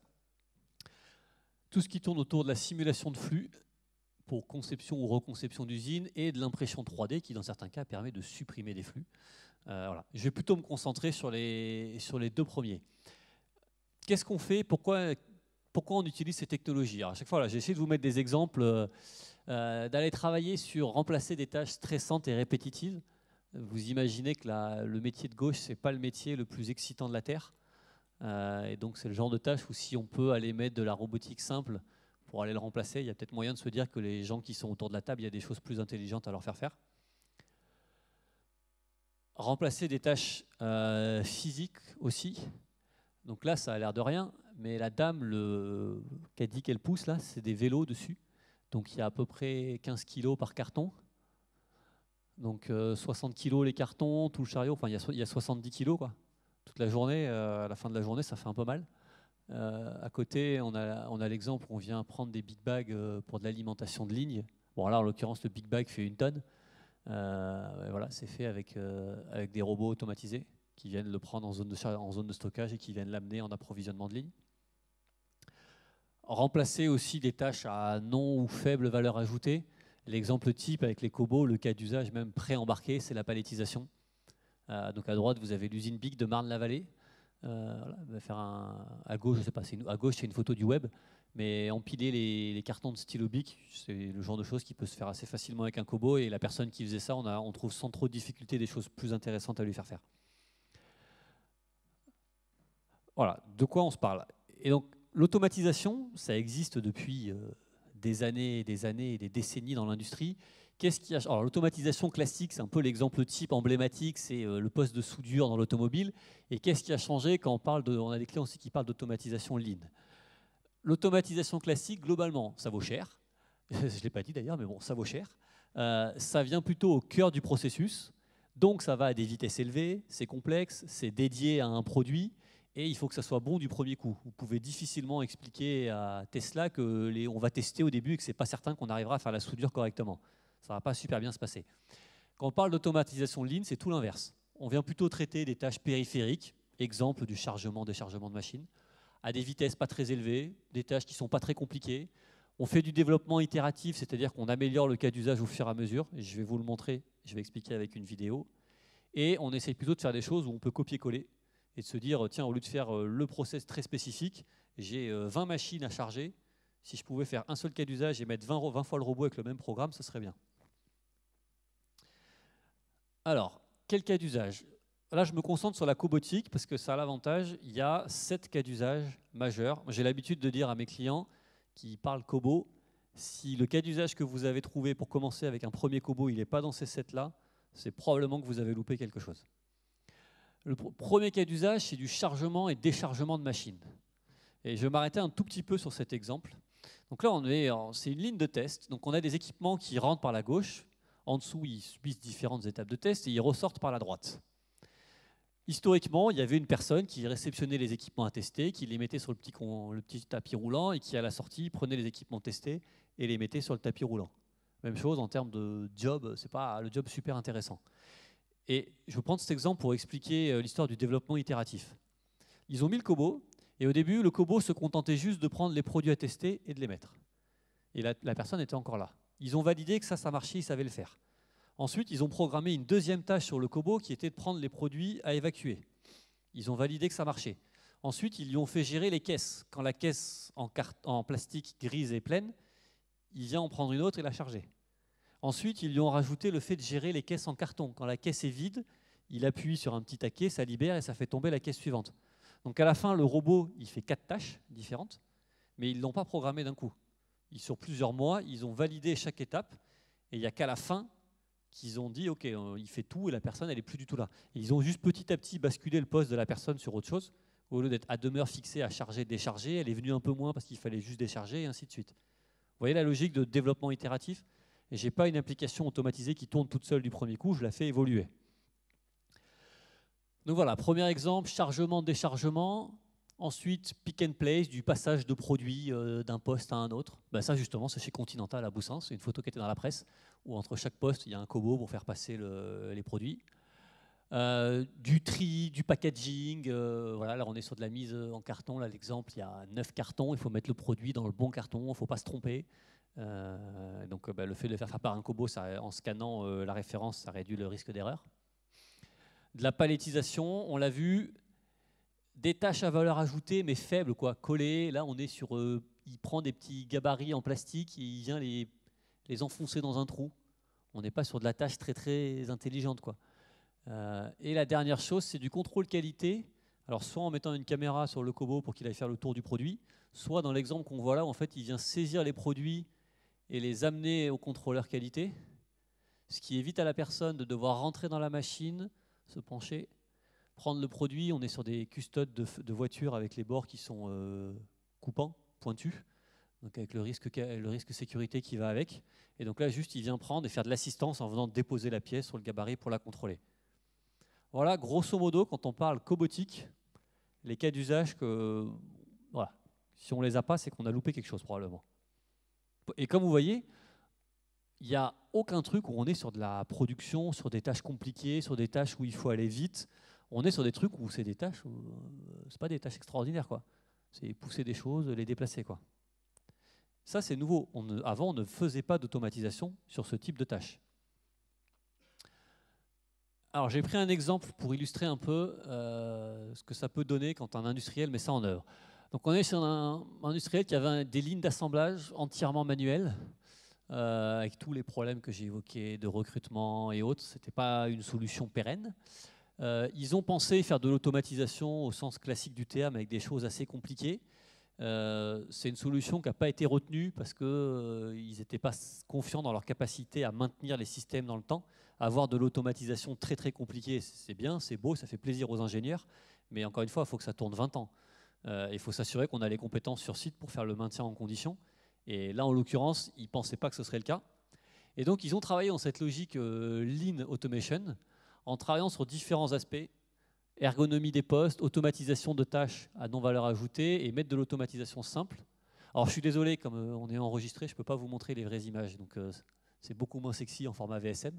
Euh, mais donc vous avez là, donc approvisionnement, il y a de l'assemblage, des composants, un deuxième assemblage et du packaging. Qu'est-ce qu'ils ont fait? Ils ont commencé par automatiser l'approvisionnement avec de la robotique mobile, au lieu d'avoir quelqu'un qui poussait un chariot, qui venait alimenter un bol vibrant, c'est fait en automatique tout ce qui est passage d'un poste à l'autre, de la transitique simple, linéaire, que le site est capable de maintenir sans problème. Les postes d'assemblage, ils ont travaillé sur des études ergonomiques, donc notamment sur la Golden Zone, s'assurer qu'on ne met pas des choses trop loin, que c'est réglable en hauteur, et ainsi de suite. De nouveau, de l'approvisionnement automatisé. Ensuite, le poste 4, il y a un mix avec euh, le fait qu'ils ont une station qui est, c'est simple et c'est plug and play, c'est-à-dire que selon la charge qu'ils ont, ils peuvent rajouter une station de travail assez facilement, pour traiter plus de produits. Et quand il y a moins de charge, il l'enlève et la ligne continue à tourner sans, difficulté. Et à la fin du packaging avec un Kobo. Donc ils ont combiné comme ça des nouvelles technologies. Sur le fond du produit, ils n'ont pas travaillé sur les tâches à valeur ajoutée du produit, ils ont plutôt travaillé sur euh, tout le flux autour et comment enlever tout ce qui est tâches à non valeur ajoutée, trucs qui ne fonctionnent pas bien, et ainsi de suite. D'accord? Est-ce que vous avez des questions sur cette partie euh? On va réussir à finir dans les temps. Puisqu'on arrive à la synthèse. Ce, que, ce qui me semble euh, important, ce que j'aimerais que vous, vous reteniez, j'ai essayé de faire un peu par pilier. Donc, on a parlé, premier pilier, connecter les équipements, les équipes. Donc, c'est la tablette dans les mains des gens. Euh, c'est un enjeu majeur, encore une fois. Ça paraît pas sexy, on peut se dire, c'est pas vraiment de l'industrie 4.0, ça. Bah, si, concrètement, c'est un enjeu majeur pour transformer, pour embarquer les équipes. J'ai un exemple. On a remis, euh, donc un de nos clients, c'est Danone. On leur ils ont tout un, gros programme de Paperless Factory. Et on a remis en novembre euh, un award à une usine à Wexford, en Irlande. C'était la première Paperless Factory au monde de Danone. Donc on a été audité, ça faisait trois ans qu'on les accompagnait. Il n'y a plus un bout de papier dans l'usine, sauf ceux qui sont des obligations légales. Mais sinon, il n'y a plus un bout de papier, tout est digitalisé. Et euh, en fait, ok, en soi, il y a le côté, il y a du digital partout, mais surtout, c'est quand on voit la dynamique que ça a créé. Comme c'est des projets qui sont assez simples, que tout le monde peut se les approprier, il y a plein de gens qui venaient avec des idées, avec des nouvelles applications, avec des choses qui pourraient être faites et compagnie. Et en fait, ils ont créé une dynamique sur ce site. Mais ce qui est impressionnant quand on y va, c'est pas d'aller voir ce qu'ils ont mis en place en fait, c'est d'aller manger à la cantine avec les équipes et de parler avec eux. Et il y a un enthousiasme qui est juste extraordinaire sur ce site. Donc c'est vraiment un enjeu, euh, encore une fois, au-delà de la technologie, on ne fait pas d'usine sans des hommes et des femmes. Il y en a qui ont essayé. Hein. Tesla, au début, il a essayé de faire une usine sans personne dedans. Elle a tourné trois semaines, je crois, avant qu'ils envoient des gens en catastrophe pour la faire tourner. Donc, ça ne marche pas. voilà. Et là, la cible, c'est justement d'aller vers euh, cette usine paperless. Deuxième chose, connecter le process. Euh, là, ce que j'ai dit, on a cité des noms d'outils. Bon, les, outils, ils existent. Hein. Euh, juste, ils peuvent coûter très cher dans certains cas, mais ils existent. La, question est plutôt s'assurer qu'on cible les bons sujets, ceux où on va pouvoir apporter de la valeur, quelque chose d'utile, et qu'on aura la bonne méthode pour avancer. Et ça, quand on le fait, par contre, effectivement, il y, a des bénéfices majeurs qui peuvent, arriver derrière. Et dernière chose, optimiser les flux. Encore une fois, là, c'est plutôt des nouvelles technologies qui amènent une, nouvelle philosophie dans la manière de concevoir les systèmes d'automatisation et d'aller vers une usine plus agile et plus flexible. Si je devais le schématiser, connecter les équipes, c'est le moteur de l'industrie 4.0. C'est ce qui fait que les gens sont dedans, qu'il y a des projets qui avancent, qu'il y a des gens qui sont motivés pour les faire. Donc c'est vraiment le moteur. Connecter le process, c'est le booster. C'est-à-dire, une fois qu'on a embarqué les gens, si on arrive à avoir de la donnée, si on arrive à la traiter correctement, effectivement, on sort des cas d'usage avec des gains qui sont conséquents. Donc c'est la fusée. Et optimiser les flux, c'est plutôt le couteau suisse, le couteau suisse, pardon c'est ce qui permet d'aller vers euh, une usine qui est justement qui est agile, qui est flexible, qui est capable de changer de production, qui est capable d'encaisser des grosses variations de charge, des gros pics de saisonnalité. C'est en partie grâce à ça. Et alors j'ai essayé de vous faire, euh, sans trahir trop de notre méthode de travail, parce que quand même euh, j'ai un métier à défendre, mais euh, quand on va dans une entreprise, la question a été posée, qu'est-ce qu'on regarde en premier? J'ai essayé de vous le faire un peu quand vous allez rentrer dans vos entreprises respectives, qu'est-ce qu'il faut regarder? Connecter les équipements, les, les, équipes, pardon. La première chose, c'est on fait ce qu'on appelle avec des clients le paper-based process, c'est mapper toutes les feuilles de papier qui sont utilisées, à quoi elles servent, quelle consommation il y a et est-ce qu'on peut les remplacer. Ensuite, c'est de passer du temps avec les opérationnels, parce que souvent là-dessus, c'est vraiment des irritants au sens, euh, ils doivent faire 10 000 saisies d'informations, des saisies, des ressaisies, ils n'ont pas les données dont ils voudraient. Donc c'est passer du temps avec eux, euh, aller faire euh, une journée avec quelqu'un, on le suit toute la journée, on voit ce qui ne marche pas, on note tout ce qui ne marche pas. Et c'est aussi voir dans le process de production où est-ce qu'on perd de la traçabilité, de la visibilité? Quelles sont les étapes du process où, pour X ou Y raison, on n'a plus l'info, on ne sait plus où on en est, on ne sait plus où sont les encours. Et en général, c'est là où il y a des choses à faire. Donc ça, c'est les trois premières choses à regarder pour ce pilier. La partie connecter le process, il faut commencer à regarder quelles étapes du process ont un impact direct sur le produit, sa qualité et sur le client. Puisqu'en général, c'est là où on va être capable de justifier de la valeur, si on réduit des problèmes de non-qualité, si on réduit des problèmes de délai ou autre. Quels sont aussi les process sur lesquels on sent qu'on n'a pas la maîtrise? Il y a des process, on sait qu'on les maîtrise, il y a quelqu'un dans l'entreprise qui est là depuis des années. À l'inverse, quels sont ceux qu'on ne maîtrise pas? Et il y a aussi quelque chose à avoir en tête, c'est bien de penser au cas d'usage qu'on a en tête pour demain. Ah, je voudrais faire de la maintenance prédictive, mais encore une fois, il y a cette histoire de modèles de données et autres. Il faut essayer de penser plus loin, il faut se dire que des cas d'usage, on va en trouver des nouveaux en marchant. Et il ne faut pas s'enfermer dans un truc pour réaliser un premier cas d'usage. La plus grosse erreur, elle est là. Elle est de se dire, tiens, je veux faire de la maintenance prédictive, donc je vais aller sur le marché, je vais trouver une solution de maintenance prédictive. Ils vont me faire mon cas d'usage de maintenance prédictive, ils vont collecter les données dont ils ont besoin, ils vont les mettre dans leur solution et ils vont me livrer mon cas d'usage. Et six mois après, je vais me dire que je voudrais faire un autre cas d'usage, mais problème, je n'ai pas accès à mes données, elles ne sont pas taguées correctement, je n'ai pas la solution pour les faire, et boum, il faut que je reparte sur une autre solution. Donc il faut essayer de réfléchir en partant un peu du mapping aussi des cas d'usage que j'ai montré. Tiens, qu'est-ce qui pourrait avoir de la valeur chez nous demain, dans six mois, dans un an, dans cinq ans? Et essayer de réfléchir comment on va traiter les données en ayant un peu ça en tête. On parlait de Capware typiquement. Capware, c'est une très bonne solution parce que c'est une solution qui d'ailleurs a la vertu de se connecter à, peu près tout ce, qui, tout ce qui génère de la donnée sur Terre. Et donc derrière, on peut construire dessus des cas d'usage sans être enfermé dans un truc qui est spécifique à la maintenance, à la qualité euh, ou autre. Et la partie flux, euh, il y a deux choses à regarder. Il y a ce que les Anglais appellent les tâches 3D, dual, dirty, dangerous, donc les tâches euh, ennuyantes, dangereuses et, sales. En gros, euh, celles que personne n'a envie de faire.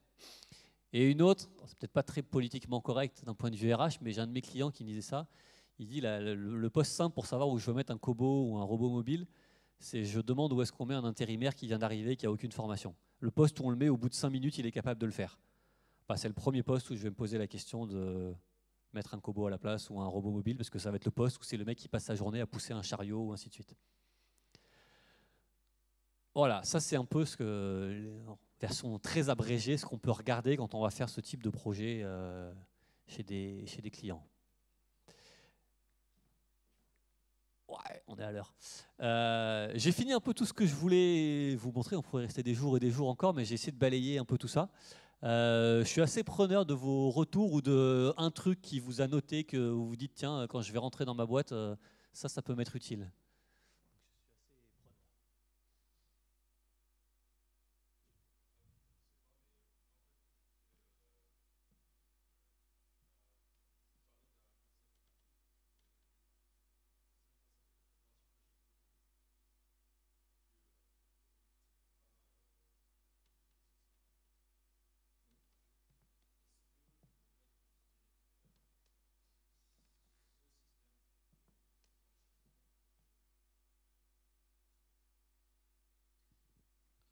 Alors, si c'est antifragilité au sens euh, ne pas être pénalisé parce qu'il y a un porte-container qui s'est mis en travers dans le canal de Suez euh, ou ce genre de choses.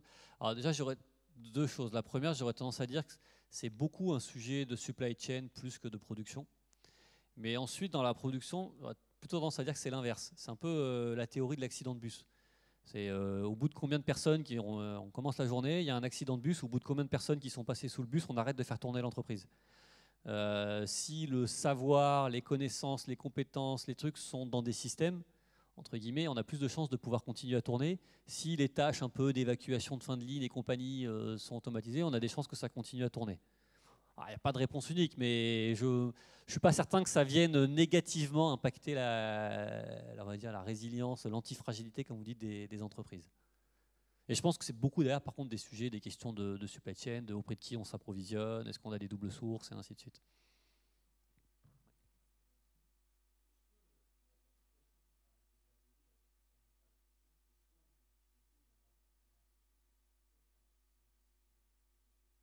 Oh, je pense, oui. Si vous achetez des licences chez eux, je pense qu'ils seront ravis de vous les vendre, à mon avis. Après, ils sont un peu plus spécialisés. Euh, enfin, encore que nous, on les a utilisés dans la production, mais eux viennent plutôt du monde des services techniques. Euh, donc tout ce qui est intervention de techniciens sur les réseaux électriques et autres. Euh, donc oui, après, il n'y a, pas de, a pas de contrainte. Hein. Est-ce qu'il y en a d'autres qui ont des. pour me donner quelques éléments de ce que vous avez retenu? Dites-moi pas que j'ai parlé pendant deux heures pour. pour...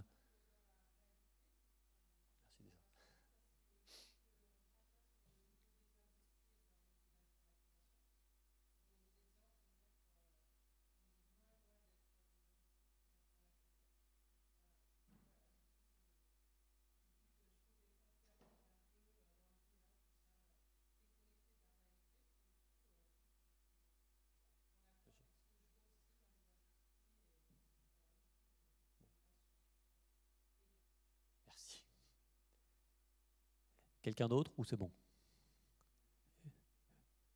Lui et après on en a deux.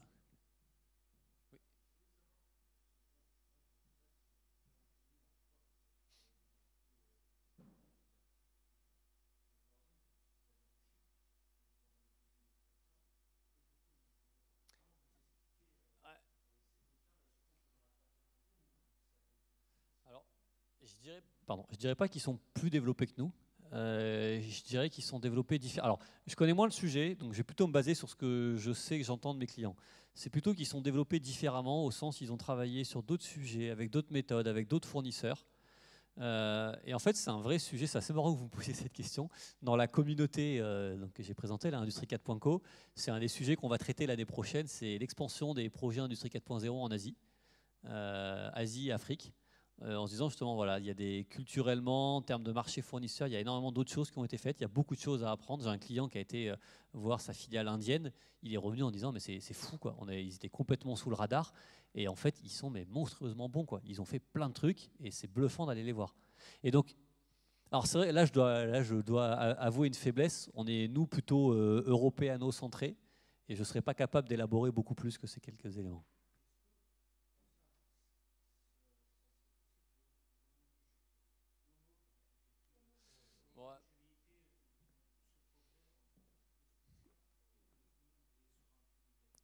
Encore une fois, je pense qu'il se fait partout. C'est juste que les sujets qu'on va traiter ne sont pas les mêmes, ne serait-ce que pour des questions de coût de main-d'œuvre. Une tâche qui vaut le coup d'être automatisée euh, en France, est-ce que ça vaut le coup d'automatiser en Chine? Donc c'est plutôt. Euh, encore une fois, il, y a énormément de choses qui se passent, c'est plus que le focus n'est pas mis sur les mêmes sujets.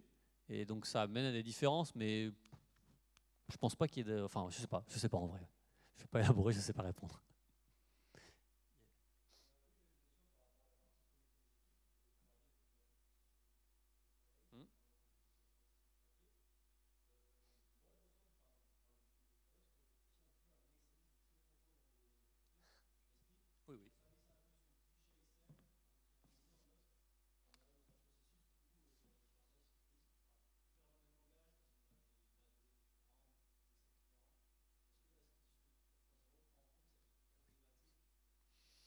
Alors c'est un très bon point. on a eu dernièrement la discussion pour se dire qu'on ne devrait pas l'appeler le paper-based mapping, mais le paper and Excel-based mapping. Parce qu'effectivement, c'est aussi un des fléaux. C'est chacun qui a son petit Excel dans son coin, qui ne tourne pas de la même manière, qui a une erreur dans une cellule, mais que personne ne l'a vu passer. Et euh, ouais, c'est aussi un sujet de plus en plus, effectivement, quand on fait le, paper-based mapping, on essaye aussi d'aller traquer un peu les, Excel et de se poser la question s'il n'y a pas moyen euh, de travailler un peu là-dessus. Il y, a un vrai sujet. Excel s'est beaucoup développé pour du bien, mais aussi dans certains cas euh, pour du, moins bien. Et c'est clairement un des, enjeux. On a un de nos clients sur un, sujet, là, on travaille sur un projet de MES. Oui, parce qu'on fait aussi des projets de MES, on ne fait pas que dire du mal des MES. Euh, quand on a demandé au directeur d'usine quelle était son, usine de rêve, un peu dans sa vision euh, à, long terme, il a dit I want an Excel-free factory. C'était vraiment juste dégagez-moi ces Excel de partout. Donc euh, clairement, il y, a un sujet aussi autour d'Excel.